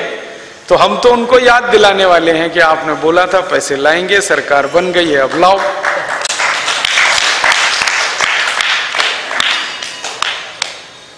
और इस मामले में बातचीत चल रही है। स्वामी जी दो तीन बार मिल लिए सारे बड़े नेताओं से। अब वो यही कह रहे हैं कि स्वामी जी बस समय दे दो दो महीने, चार महीने, छह महीने। तो ठीक है भाई, समय ले लो। और नहीं किया तो फिर हम करेंगे जो हमें करना है। अब सुप्रीम कोर्ट में फिर दूसरी पिटीशन भी आ जाएगी। और वो यही होगी कि ये अस्सी हज़ार नाम है। उनमें हसन अली ने तो स्वीकार किया है कि मेरा बहत्तर हज़ार करोड़ है। वो खुद बोल रहा है कि मेरा बहत्तर हज़ार करोड़ है। अब हसन अली जैसे अगर सौ आदमी भी हो गए तो बहत्तर लाख करोड़ तो ऐसे ही हो गया। तो ये पैसा सुप्रीम कोर्ट की मदद से भी आएगा। कैसे आएगा? सुप्रीम कोर्ट ने एक बार ऐसा किया था, मैं पुरानी बात याद दिलाता हूँ। जब नरसिम्हा राव इस देश में प्रधानमंत्री थे तो एक घोटाला हुआ था, उसका नाम है यूरिया घोटाला। उसमें 133 करोड़ रुपए का पेमेंट हुआ, यूरिया नहीं आया। पैसे चले गए, यूरिया नहीं आया। जाँच हुई तो पता चला वो पैसे नरसिम्हा राव के बेटे के खाते में जमा है। तो सुप्रीम कोर्ट ने खाता जब्त करा दिया। वो खाता स्विट्जरलैंड की बैंक में था। खाता जब्त हुआ 133 करोड़ रुपए उसमें से निकल के सुप्रीम कोर्ट में आके जमा हो गए। और जिसके खाते में पैसा जमा था, वो जेल चला गया। तो हम सुप्रीम कोर्ट को इतनी बात याद दिलाएँगे कि अगर यूरिया घोटाले का पैसा वापस आ गया तो चारा घोटाले का भी आ सकता है। बोफोर्स घोटाले का भी आ सकता है। आएगा कि नहीं? घोटाले घोटाले सब एक। तो ये 110 लाख करोड़ रुपए आना तो पक्का है। बस इसमें समय का फेर है। तुरंत आ जाए या थोड़ा एक आध साल में आ जाए। हमने योजना ये बना रखी है कि ये पैसे को लाने के लिए एक और रास्ता है, वो भी अपनाएँगे अगर हमको ज़रूरत पड़ी तो।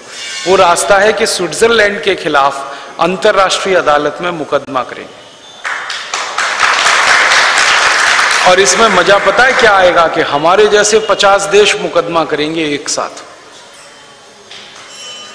क्योंकि उन देशों के भी खाते हैं उनके। और इनके ऊपर मुकदमा, पता है हम क्या करने की तैयारी कर रहे हैं?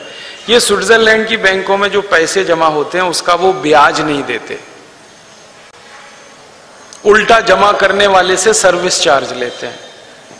फिर क्या होता है कि ये पैसा वो ब्याज पे दूसरों को उठा देते हैं और उसमें से ब्याज वसूलते हैं और अपने देश में मज़ा करते हैं। हमारे पैसे पे वो ब्याज वसूलते हैं और मज़ा करते हैं। हमको ब्याज नहीं देते। ये बेईमानी पर मुकदमा होगा। और हम जीतेंगे इसमें। और वो मुकदमा जीत के ये पैसा आ जाएगा। अभी अमेरिका ने किया ऐसा, मालूम है? बराक ओबामा, जो अमेरिका में राष्ट्रपति बना, पहली बार एक काला आदमी गोरे अमेरिका में राष्ट्रपति बना।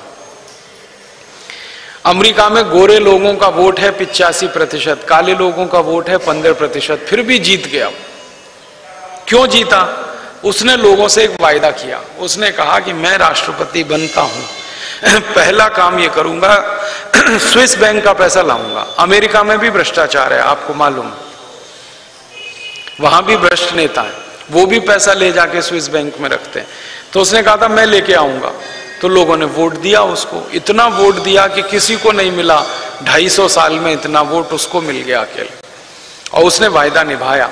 जीतने के पंद्रह दिन के बाद उसने ये कानून बना दिया। और कानून बनने के 21 दिन में पैसा आ गया।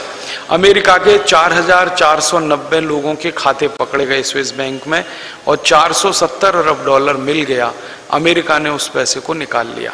अब अमेरिका ने ये कर लिया तो भारत भी कर सकता है।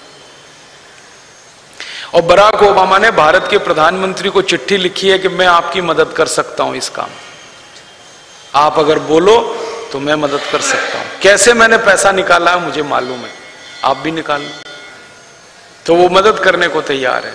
क्योंकि बराक ओबामा जो है ना, भारत के एक नेता को सबसे ज़्यादा मानता है, वो है महात्मा गांधी।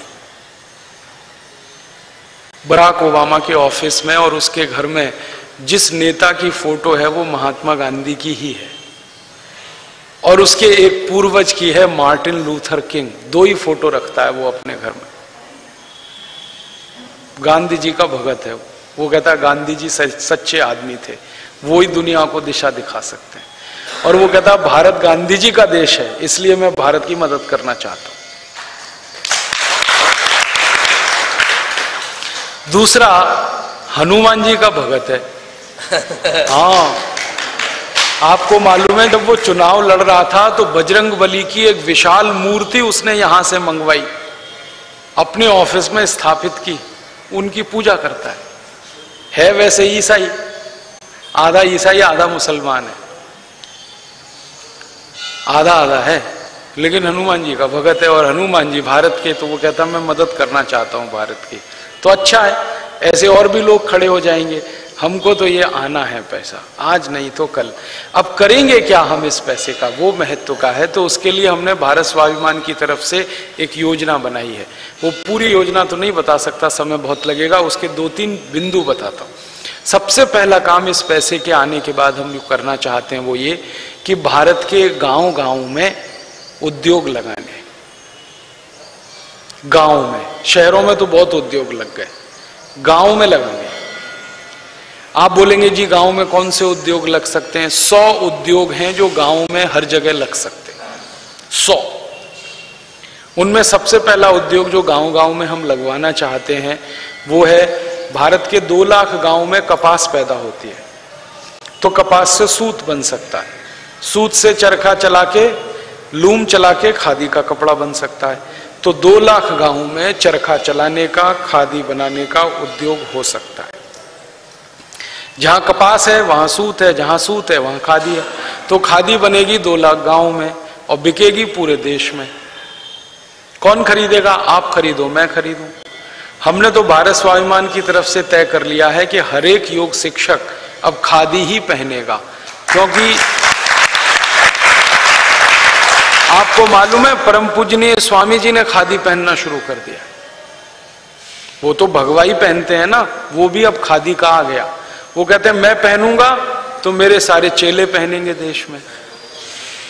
तो सारे योग शिक्षक खादी पहनेंगे 11 लाख योग शिक्षक 11 लाख परिवार अगर खादी खरीदने लगे, करोड़ों मीटर खादी बिकेगी। और फिर ये 11 लाख अगर 10-10 को भी कहेंगे, भाई, तुम भी खादी ले लो, तुम भी खादी ले लो, और खादी बिकेगी। तो बनेगी गाँव में, बिकेगी शहरों में। आप भी इसको ध्यान रखना। कि खादी खरीद के दो लाख गाँवों को हम रोज़गार दे सकते हैं। और हमने हिसाब निकाला, पंद्रह करोड़ लोगों को इसमें रोज़गार मिलेगा खादी के कपड़े में। और ये अकेली ऐसी चीज़ है जिसमें बिजली की ज़रूरत नहीं है। बिना बिजली के ये सब काम होगा। चरखा चलाना हाथ से, सूत को बुनना हाथ से, सूत को रंगना हाथ से कपड़े का ये सब हाथ का काम है, इसमें बिजली की कहीं ज़रूरत ही नहीं। तो बिजली आए, नहीं आए, कोई फ़र्क नहीं पड़ता, ये काम चल पड़े। ऐसे दूसरा उद्योग हमने तय किया है कि भारत में लगभग एक लाख से ज़्यादा गाँव हैं जहाँ सरसों पैदा होती है, तिल पैदा होता है, नारियल पैदा होता है। तो सरसों जहाँ होती है, वहाँ सरसों का तेल निकल सकता है, तिल जहाँ होता है, वहाँ तिल का तेल निकल सकता है। और जहाँ नारियल है वहाँ नारियल का। अभी तेल निकलता है शहर के बड़े बड़े कारखानों में। हम तेल निकलवाएँगे छोटे छोटे गाँवों में। और ये तेल निकालने के लिए भी बिजली नहीं चाहिए। वो कोलू चलता था ना पहले, बैल वाला, उसी से निकलवाएँगे। उसकी दो फ़ायदे हैं। तेल की क्वालिटी अच्छी रहती है। ये बिजली वाली मशीन जो घूमती है ना, ये तेल को जला देती है क्योंकि तापमान बहुत है। तो तेल का प्रोटीन कंटेंट कम हो जाता है। और धीरे धीरे कोलू का जो तेल निकलता है, उसमें सारी प्रोटीन सुरक्षित रहती है। और वैज्ञानिकों का यह कहना है कि ये कोलू का तेल जो भी खाएगा, उसको हृदयघात कभी नहीं आ सकता। आप बोलेंगे क्यों? क्योंकि ये जो कोल्हू का तेल है, इसको खाने से शरीर में एचडीएल बढ़ता है। और एच वो केमिकल है जो शरीर को सुरक्षित रखता है। हृदय घात लाने वाला जो केमिकल है, वो एलडीएल और वीएलडीएल है। वो मशीन के तेल से बढ़ता है। तो लोगों का स्वास्थ्य भी अच्छा हो। अब मुझे समझ में आया कि हज़ारों साल हमारे दादा दादी, वो कोलू का ही तेल खाते थे। किसी को हृदय घात नहीं होता था। जब से ये मशीनों का तेल आया, हम उसको रिफाइंड तेल कहते हैं डबल रिफाइंड तब से हार्ट अटैक भी ज़्यादा आया। तो लोगों का स्वास्थ्य अच्छा होगा। और तेल तो हम ले लेंगे। खली बचेगी, वो जानवरों के काम आएगी। खली खिलाओ जानवरों को, दूध खूब बढ़ता। और दूध गाढ़ा होता है। दूध में घी ज़्यादा निकलता है। जो जानवर तिल के तेल की खली खाते हैं, सरसों के तेल की खली खाते हैं, खूब गाढ़ा दूध देते हैं वो। घी उसमें खूब निकलता है तो दो फ़ायदे हो जाएँगे। तेल हमको मिलेगा, खली जानवरों को मिलेगा। गाँव गाँव में ये करना। तीसरा एक उद्योग हम गाँव में ये चाहते हैं, भारत के नब्बे हज़ार गाँव ऐसे हैं जहाँ आलू पैदा होता है। आलू। और हर साल इस देश में करोड़ों टन आलू सड़ जाता है। तो हम जो चाहते हैं वो ये कि जिन जिन गाँवों में आलू पैदा होता है, वहाँ आलू का चिप्स बनाओ और वो बाज़ार में बेचो। बाज़ार में बड़ी बड़ी कंपनियों का चिप्स चार सौ रुपए किलो बिकता है। हमारा सौ रुपए किलो तो बिक ही सकता है। कौन बेचेगा इसको? हम बिकवाएँगे।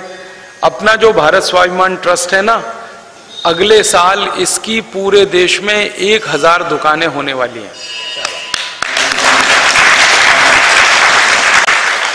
एक हज़ार आरोग्य केंद्र हम शुरू करने जा रहे हैं। उन आरोग्य केंद्रों पर गाँव गाँव में बना हुआ माल ही बिकेगा। तो चिप्स बनाएँगी गाँव की माताएँ बहनें, बिकवाएँगे हम उनका, पैसा उनको मिलेगा। तो आलू के चिप्स का उद्योग चलेगा।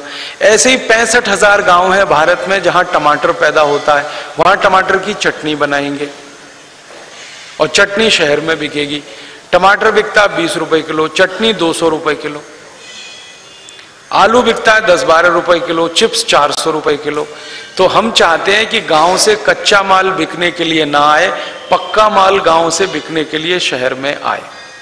एक लाख गाँव हैं जहाँ गेहूँ पैदा होता है अच्छा गेहूँ होता है, बहुत अच्छी क्वालिटी का गेहूँ होता है, जैसे शरबती गेहूँ, जैसे कठिया गेहूँ। खाओ तो शरीर में इतनी पौष्टिकता है कि हम सोच नहीं सकते। मध्य प्रदेश के कुछ इलाकों में शरबती गेहूँ है, कुछ इलाकों में कठिया गेहूँ है, उसकी जैसी ताकत कहीं नहीं है। और ये कठिया गेहूँ की विशेषता है कि बिना पानी के होता है। पूरे बुंदेलखंड में भरा पड़ा है। तो जहाँ सबसे अच्छा गेहूँ है, वहाँ गेहूँ का आटा बनवाएँगे।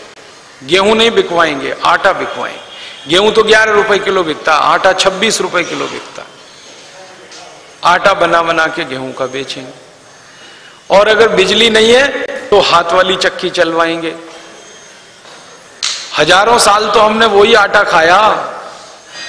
और जिन्होंने वो आटा खाया है, और जिन्होंने वो आटा बनाया है, किसी भी माँ और बहन को बच्चे के जन्म के समय सिजेरियन नहीं करवाना पड़ा।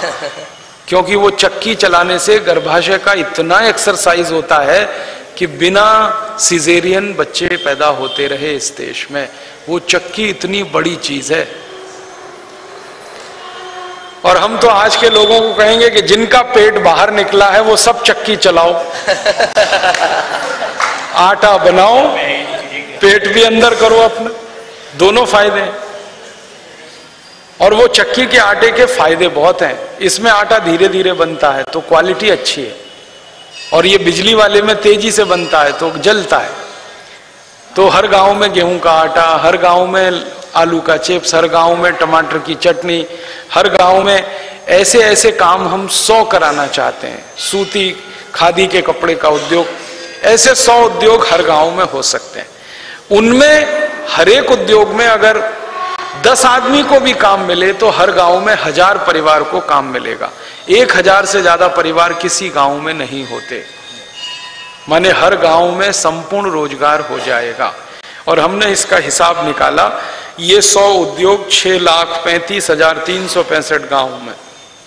अगर हो गए तो साठ करोड़ लोगों को इसमें काम मिलेगा। तो नक्शा हम बदलना चाहते हैं इस देश का। अभी सारे उद्योग शहर में है। हम सौ उद्योग शहर से गाँव में ले जाना चाहते हैं। शहर में सिर्फ़ ऐसे उद्योग होंगे जो गाँव में नहीं चल सकते। जैसे टेलीविज़न बनाने का उद्योग गाँव में नहीं चल सकता, वो शहर में चलेगा। साइकिल बनाने का उद्योग गाँव में नहीं चल सकता, वो शहर में चलेगा। इसी तरह से कार बनाने का उद्योग गाँव में नहीं हो सकता, शहर में चलेगा। ट्रैक्टर बनाने का उद्योग गाँव में नहीं हो सकता, शहर में चलेगा। तो बड़े उद्योग शहर में और छोटे उद्योग सब गाँव। ऐसी व्यवस्था करें। इसमें कितना खर्चा होगा? हमने सब हिसाब जोड़ा। इसमें कुल मिला के पंद्रह से बीस लाख करोड़ का खर्चा आएगा और अपने पास 110 लाख करोड़ है स्विस बैंक का। आराम से ये काम हो जाएगा। इसके बाद दूसरा काम हम ये करना चाहते हैं कि गाँव गाँव में बिजली हो। हर गाँव में बिजली हो। अगर शहर में है तो गाँव में भी हो। नहीं तो किसी को बिजली नहीं हो। शहर वाले भी अंधेरे में रहे, गाँव वाले भी रहे। बिजली है तो सबको हो। ये नहीं कि शहर वालों को मिले, गाँव वालों को नहीं मिले। अब बिजली हो तो बिजली घर चाहिए। तो हमने उसके लिए योजना बनाई है कि छोटे छोटे बिजली घर बनाएँगे एक एक मेगावाट के दो दो मेगावाट के। और दस गाँवों के बीच एक बिजली घर लगाएँगे, दस गाँवों की बिजली की ज़रूरत एक बिजली घर पूरा करे। तो ऐसे एक लाख बिजली घर लगेंगे। और एक लाख बिजली घरों को लगाने में पाँच लाख करोड़ खर्च होगा। तो कर देंगे, क्या फ़र्क पड़ता है? दस, एक सौ दस लाख करोड़? है और ये छोटे बिजली घर हम इसलिए लगाना चाहते हैं, अभी भारत में पता है क्या होता है? बड़े बिजली घर लगते हैं, एक हज़ार मेगावाट, पंद्रह सौ मेगावाट, दो हज़ार मेगावाट, उसमें बिजली पैदा होती है, वो बारह हज़ार वोल्ट की होती है, तेरह हज़ार वोल्ट की होती है, पंद्रह हज़ार वोल्ट की होती है, बहुत ज़्यादा हाई। अब उस बिजली को घर में जलाना हो तो 220 वोल्ट में बदलना पड़ता है तो 15000 वोल्ट से उसको घटाते घटाते 220 पे लाना पड़ता है, उसमें बिजली नष्ट करनी पड़ती है, और वो फालतू में खर्च होती है। हमारे देश में कुल बिजली जितनी बनती है, उसका 35 प्रतिशत इसी तरह से बर्बाद हो जाता है।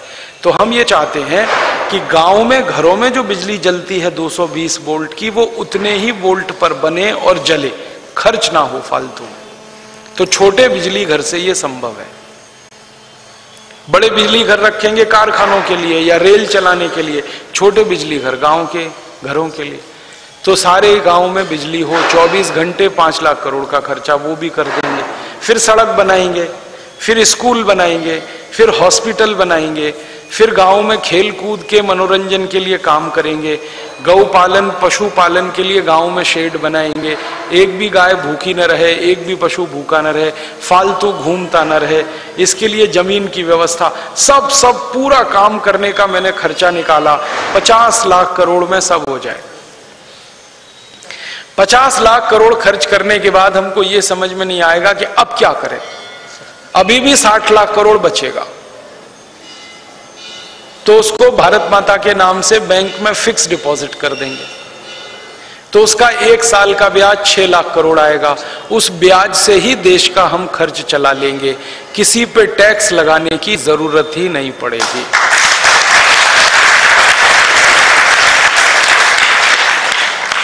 सब टैक्स खत्म। कोई टैक्स हमें नहीं लेना। क्योंकि टैक्स लेने से क्या करना? पैसा ही तो चाहिए। पैसा तो आ गया। स्विस बैंक के पैसे को ब्याज में रख लें तो ही इतना आ जाएगा।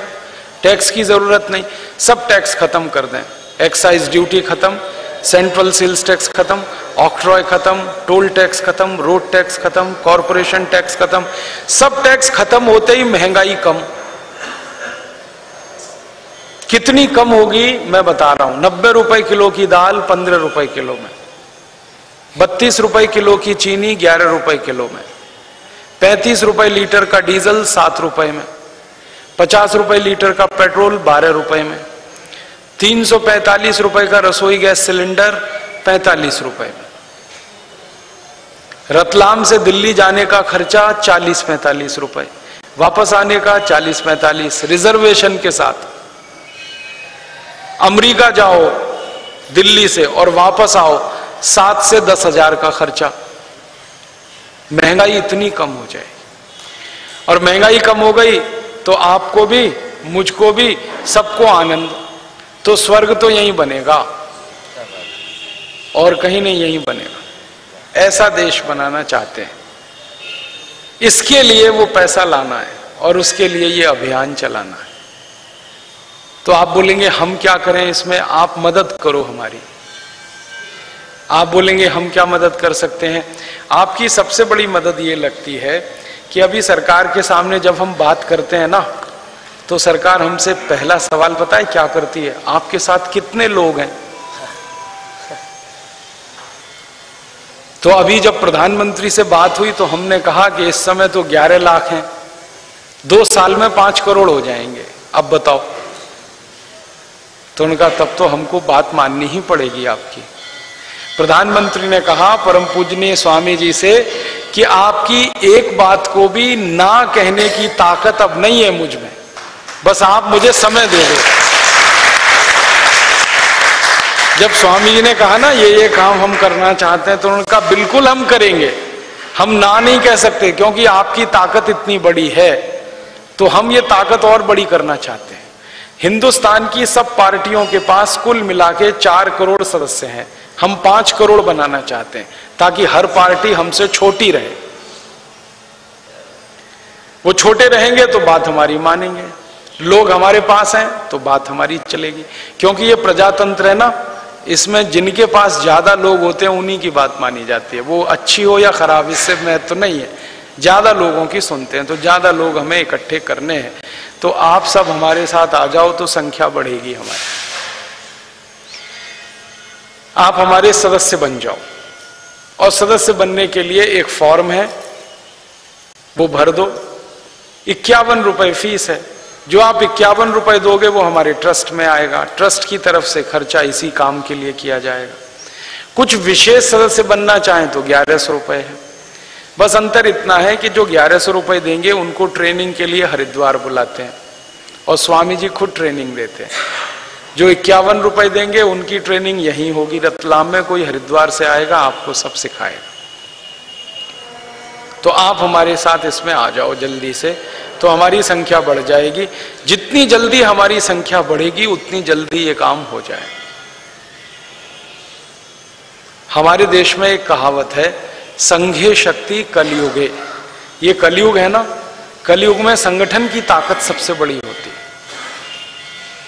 तो संगठन चाहिए हमको। उसके लिए आपसे मदद मांगने आया। आप इसमें शामिल हो जाओ जल्दी से जल्दी। और अपने मित्रों को, परिचितों को उनको भी शामिल करो इसमें। जितनी जल्दी ये काम होगा, उतना जल्दी देश को भला होगा। और इस ताकत से और भी कई काम हम कराना चाहते हैं। ये तो एक काम है स्विस बैंक का पैसा लाना। दूसरा एक काम हम करना चाहते हैं कि अपने भारत देश में हज़ार पाँच सौ और सौ के नोट सबसे ज़्यादा छपते हैं। आपको ये शायद मालूम है या नहीं कि जितने नोट बाज़ार में है ना, उसमें पिचासी प्रतिशत नोट बड़े नोट हैं। हज़ार के, पाँच सौ के सौ के। और पंद्रह प्रतिशत नोट है, वो पचास के, बीस के, दस के और पाँच के और एक के हैं।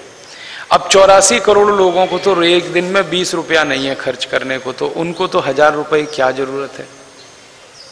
इसका माने ज़्यादा लोगों को तो बीस और पचास का नोट चाहिए। तो हम चाहते हैं कि इस देश में बीस और पचास के नोट ही चलें सब। हज़ार का नोट बंद हो, पाँच सौ का बंद हो, सौ का बंद हो। ये कानून बदलना है अपने को। तो इसके दो फ़ायदे हैं। एक तो गरीब आदमी को जो चाहिए वो मिलेगा। दूसरा बड़े नोटों से इस देश में भ्रष्टाचार ज़्यादा होता है। नोट अगर छोटे हो गए तो भ्रष्टाचार कम होगा। अभी किसी को दस करोड़ की रिश्वत देनी है तो एक ब्रीफ केस में भर के दे आता है। और जब पचास रुपए से ऊपर का नोट ही नहीं होगा तब देखे दस करोड़ की रिश्वत कैसे देगा। हाँ। ट्रक भर के नोटों के बंडल ले जाने पड़ेंगे। तो लेने वाला भी परेशान और देने वाला भी परेशान। लेने वाला रखेगा कहा? एक ट्रक भर के बंडल। तो ये झक मार के भ्रष्टाचार कम होगा। और इससे भी बड़ा एक दूसरा काम होगा वो ये कि अपने भारत में पाकिस्तान की तरफ़ से जाली नोट आजकल बहुत आ रहे हैं। आप अखबार पढ़ते हैं? पंद्रह से बीस प्रतिशत जाली नोट आ गए अपने देश में। और पाकिस्तान ये जाली नोट जो भेजता है ना वो हज़ार और पाँच सौ और सौ के ही है। पचास के नहीं भेजता। एक पाकिस्तानी एजेंट को अभी सरकार ने पकड़ा है उससे पूछा कि तुम पचास के नोट क्यों नहीं लाते जाली? तो उसने कहा वो महँगा पड़ता है। उसने उसका हिसाब बताया कि 50 का नोट छापना उसको पाकिस्तान से भारत लेके आना इसमें एक 50 का नोट चलाने में पचपन रुपए खर्च होते हैं। तो हमको घाटा है। और 20 का नोट चलाने में 25 खर्च होते हैं 10 का चलाने में 15 खर्च होते हैं। वो कहता है हज़ार का हम इसलिए लाते हैं कि ये सस्ता पड़ता है। 500 का भी सस्ता पड़ता है 100 का। तो आप हज़ार पाँच सौ सौ के नोट ही खत्म कर दो तो जाली नोट की समस्या हल हो जाएगी। और लोगों की ज़रूरत के नोट ज़्यादा हो जाएँगे। और फिर इससे एक फ़ायदा और होगा कि जब नोट छोटे होंगे ना तो लोग ज़्यादा से ज़्यादा व्यवहार बैंकों के माध्यम से करेंगे। कैश का ट्रांजैक्शन कम हो जाएगा। चेक से होगा या ड्राफ्ट से होगा। तो चेक और ड्राफ्ट का ट्रांजैक्शन अगर बढ़ता है तो ईमानदारी बढ़ेगी। बैंकों का व्यवसाय बढ़ेगा, लोगों का रोज़गार बढ़ेगा, ज़्यादा बैंक खोलने पड़ेंगे, लोगों को बचत करने की आदत पड़ेगी, खाते बैंकों में जाएँगे। ये सब एक अच्छा काम इस देश में होता जाए एक और काम हम करना चाहते हैं वो ये कि भारत की जो इस समय कानून व्यवस्था है, इसके कानून सब अंग्रेज़ों के जमाने के हैं। एक आईपीसी है इंडियन पिनल कोड एक सीआरपीसी क्रिमिनल प्रोसीजर कोड एक सीपीसी सिविल प्रोसीजर कोड ये सब अंग्रेज़ों के ज़माने के कानून हैं। ये हटाना है हमको, क्योंकि इस कानून से न्याय नहीं मिलता किसी को। कानून ही ऐसे हैं, न्याय दे ही नहीं सकते वो। आईपीसी, सीआरपीसी, सीपीसी के बारे में एक पूर्व मुख्य न्यायाधीश से मेरी बात हुई तो उन्होंने क्या कहा? मैंने उनको पूछा कि कोर्ट में कितने मुकदमे चल रहे हैं तो उन्होंने कहा साढ़े तीन करोड़। मैंने कहा, इनका फैसला कब आएगा? तो उन्होंने कहा, तीन सौ साल में। मैं पूछा, क्यों? तो उनका कानून ऐसा है, आईपीसी, सीआरपीसी, सीपीसी, जल्दी फैसला आ ही नहीं सकता। अब 300 साल में फैसला आए तो वादी भी मर जाएगा प्रतिवादी भी मर जाएगा। फैसला किसको करोगे आप? 300 साल कौन ज़िंदा रहेगा? इसका माने कानून ऐसा होना चाहिए जिसमें फैसला जल्दी से जल्दी क्योंकि अंग्रेज़ी उनकी भाषा नहीं है फेल हो गए तो क्या बात है इसमें? मैं आपको एक पुरानी घटना सुनाता हूँ। भारत के एक प्रधानमंत्री थे पंडित ला, शा, शा, लाल बहादुर शास्त्री जी। उनका बड़ा बेटा हर समय अंग्रेज़ी में फेल होता था। अब प्रधानमंत्री का बेटा अंग्रेज़ी में फेल हो सकता है। तो किसान का बेटा फेल हो जाए तो कौन सी बात? शास्त्री जी को उसकी कोई चिंता नहीं थी। वो तो कहा करते थे कि ये हिंदी में फेल हुआ, तब इसकी मैं मरम्मत करूँगा। अंग्रेज़ी में फेल हो जाए तो क्या फ़र्क पड़ता? हो गया। तो ये हमें सबको समझना है। और मोटी सी बात है कि जब इंग्लैंड का कोई आदमी अपने बच्चे को हिंदी में नहीं सिखा रहा, पढ़ा रहा तो आप क्यों सिखा पढ़ा रहे? सारे विषय हम हिंदी करना चाहते हैं ताकि आसान हो जाए और शिक्षा में जैसे ही मातृभाषा आएगी, बोझा कम हो जाए तो ऐसे ऐसे कुछ कुल मिलाकर चौसठ काम हम करना चाहते हैं। मैंने आठ दस आपको बता दिए, समय की कमी है, इसलिए ज़्यादा नहीं बताता। आगे कभी आऊँगा तो फिर बताऊँगा। ये सब काम करने के लिए संगठन चाहिए। संगठन के लिए आपका सहयोग चाहिए। और आपका सहयोग मिलेगा, ऐसी मुझे पूरी आशा है। आप अगर इस संगठन में शामिल होते हैं, संख्या बढ़ती है, ताकत हमारी खड़ी होती है, सरकार के सामने हम ये सब दबाव के साथ अपनी बातों को रख सकते हैं। इसके लिए आपका सहयोग। तो आप आज से ही तय करिए, जल्दी से जल्दी इस संगठन के सदस्य हो जाइए, दूसरों को बनाने के लिए प्रयास करिए। और एक छोटी सी आखिरी बात, स्वामी जी कहते हैं कि इस संगठन का जो सदस्य बनेगा, उसको तीन बातें माननी पड़ेंगी। नहीं मानेगा तो सदस्य नहीं रह सकता। पहली बात ये माननी पड़ेगी कि अपनी ज़िंदगी में जितने भी सामानों का हम इस्तेमाल करें, वो स्वदेशी होने चाहिए। इस संगठन की शर्त है ये। हर संगठन की शर्त होती है ना कि आप हमारे यहाँ आओगे तो ये मानना पड़ेगा। तो हमारे संगठन में पहली बात ये माननी पड़ेगी कि विदेशी चीज़ नहीं खरीद सकते। तो अपने घर से आपको विदेशी चीज़ हटानी है और स्वदेशी ही लाना है। तो आप पूछेंगे, हमें तो पता ही नहीं है विदेशी चीज़ क्या है, स्वदेशी चीज़ क्या है। उसके लिए हमने एक सूची बनाई है और एक पुस्तक है, जीवन दर्शन। वो पुस्तक यहाँ मिलती है। ये इसकी, आप देख लो, ये पुस्तक है स्वामी जी का फ़ोटो बना। इसको खोलना तो पीछे के पन्ने पर 115 नंबर का पेज है। ये पेज है। इसमें पूरी लिस्ट है। एक तरफ़ लिखा है स्वदेशी सामान, एक तरफ़ लिखा है विदेशी सामान। विदेशी लाना नहीं है, सिर्फ़ स्वदेशी लाना। ये पुस्तक से मिल जाएगा। आप चाहें तो इसकी फोटोकॉपी करा सकते हैं। देशी विदेशी सामान की रसोई घर में चिपका के रख सकते हैं। और हर बार बाज़ार जाएँ तो इसको देख के सामान खरीदें। ये पहली शर्त है। दूसरी शर्त क्या है? इस संगठन में जो भी व्यक्ति आएगा, वो व्यक्तिगत ज़िंदगी में हिंदू, मुसलमान, सिख, ईसाई कुछ भी हो सकता है। सार्वजनिक जीवन में उसको भारतीय होना पड़ेगा। वो सार्वजनिक जीवन में हिंदू, मुसलमान, सिख, ईसाई नहीं हो सकता। सबके लिए ये दरवाज़ा खुला है इस संगठन का। कोई भी व्यक्ति आए, अगर हिंदू मुसलमान है तो घर में छोड़ के आए। हमारे यहाँ आएगा तो वो सिर्फ़ भारतीय है और भारतीय तो व्यक्तिगत जीवन में आप हिंदू, मुसलमान, सिख, ईसाई, जैन, पारसी कुछ भी हो सकते हैं। आप देश के लिए जब काम करने आ रहे हैं तो आप सब एक हैं, भारतीय हैं। ये दूसरी शर्त। और तीसरी शर्त है कि जो भी व्यक्ति इस संगठन में आएगा वो व्यसन नहीं कर सकता, दारू नहीं पी सकता, मांस नहीं खा सकता, अंडा नहीं खा सकता। नहीं तो कोई मतलब नहीं है इस पूरे आंदोलन में। तो व्यसन छोड़ेगा, मांस, मछली, अंडा, दारू, शराब, बीड़ी, सिगरेट, गुटखा, मावा, सब। तब वो इस संगठन का सदस्य बने। ये तीन शर्तें सबके लिए तो इनका पालन हम सब कर रहे हैं अपने जीवन में। और दूसरों को पालन करवाने के लिए प्रयास करें। तो एक दिन हम ज़रूर सफल होने वाले हैं, क्योंकि ये काम आज़ादी के बासठ साल में होना चाहिए था, नहीं हो पाया। अब आने वाले समय में हमें करना है। और ये काम कोई हम अकेले करने वाले ऐसा नहीं है।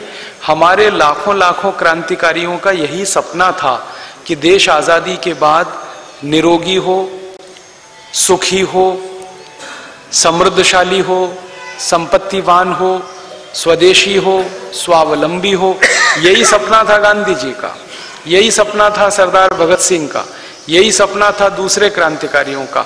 तो हम तो अपने को ये मानते हैं कि शहीदों के सपनों को पूरा करने के लिए हम ये काम कर रहे हैं। और हम ये भी मानते हैं कि काम हम नहीं कर रहे हैं, काम तो कोई और करवा रहा है, हम तो निमित्त मात्र हैं। ये भगवान करवा रहा है, ईश्वर करवा रहा है। वही हमको अकल दे रहा है, वही बुद्धि दे रहा है, उसी के कहने पे हम सब कर रहे हैं। हम तो निमित्त हैं। आप भी हमारे साथ अगर इस काम में जुड़ जाएँगे तो आने वाले समय में आपके बेटे बेटियाँ गर्व से कहेंगे कि जब भारत स्वाभिमान का अभियान चला था तो मेरे पिताजी, माताजी भी उसमें थे। जैसे आज कई लोग गर्व से कहते हैं ना, मेरे माता पिता 1942 की लड़ाई में गांधी जी के साथ थे। ऐसे ही आने वाला समय आपको कहेगा कि हाँ आप गर्व से कहें। और जो नहीं शामिल होंगे, काम तो ये होने वाला है। देखो, मैं आपको बता दूँ। आप शामिल हो जाओ तो जल्दी होगा, नहीं होगे तो थोड़ा देर में होगा। होना तो इसको है। तो आप शामिल हो जाएँ तो वही अच्छा। नहीं होंगे तो फिर आपके ही बच्चे आपको गाली देंगे कि तुम क्या कर रहे थे जब ये भारत स्वाभिमान का अभियान चल रहा था। तो अपने बच्चों के सामने शर्मिंदा ना होना पड़े। अपने बच्चों के सामने कभी अफसोस ना करना पड़े, इसके लिए भी आप इसमें शामिल हो जाइए। ऐसी विनम्र अपेक्षा के साथ आपका आभार व्यक्त करता हूँ, धन्यवाद देता हूँ। बहुत बहुत आभार बहुत बहुत आभार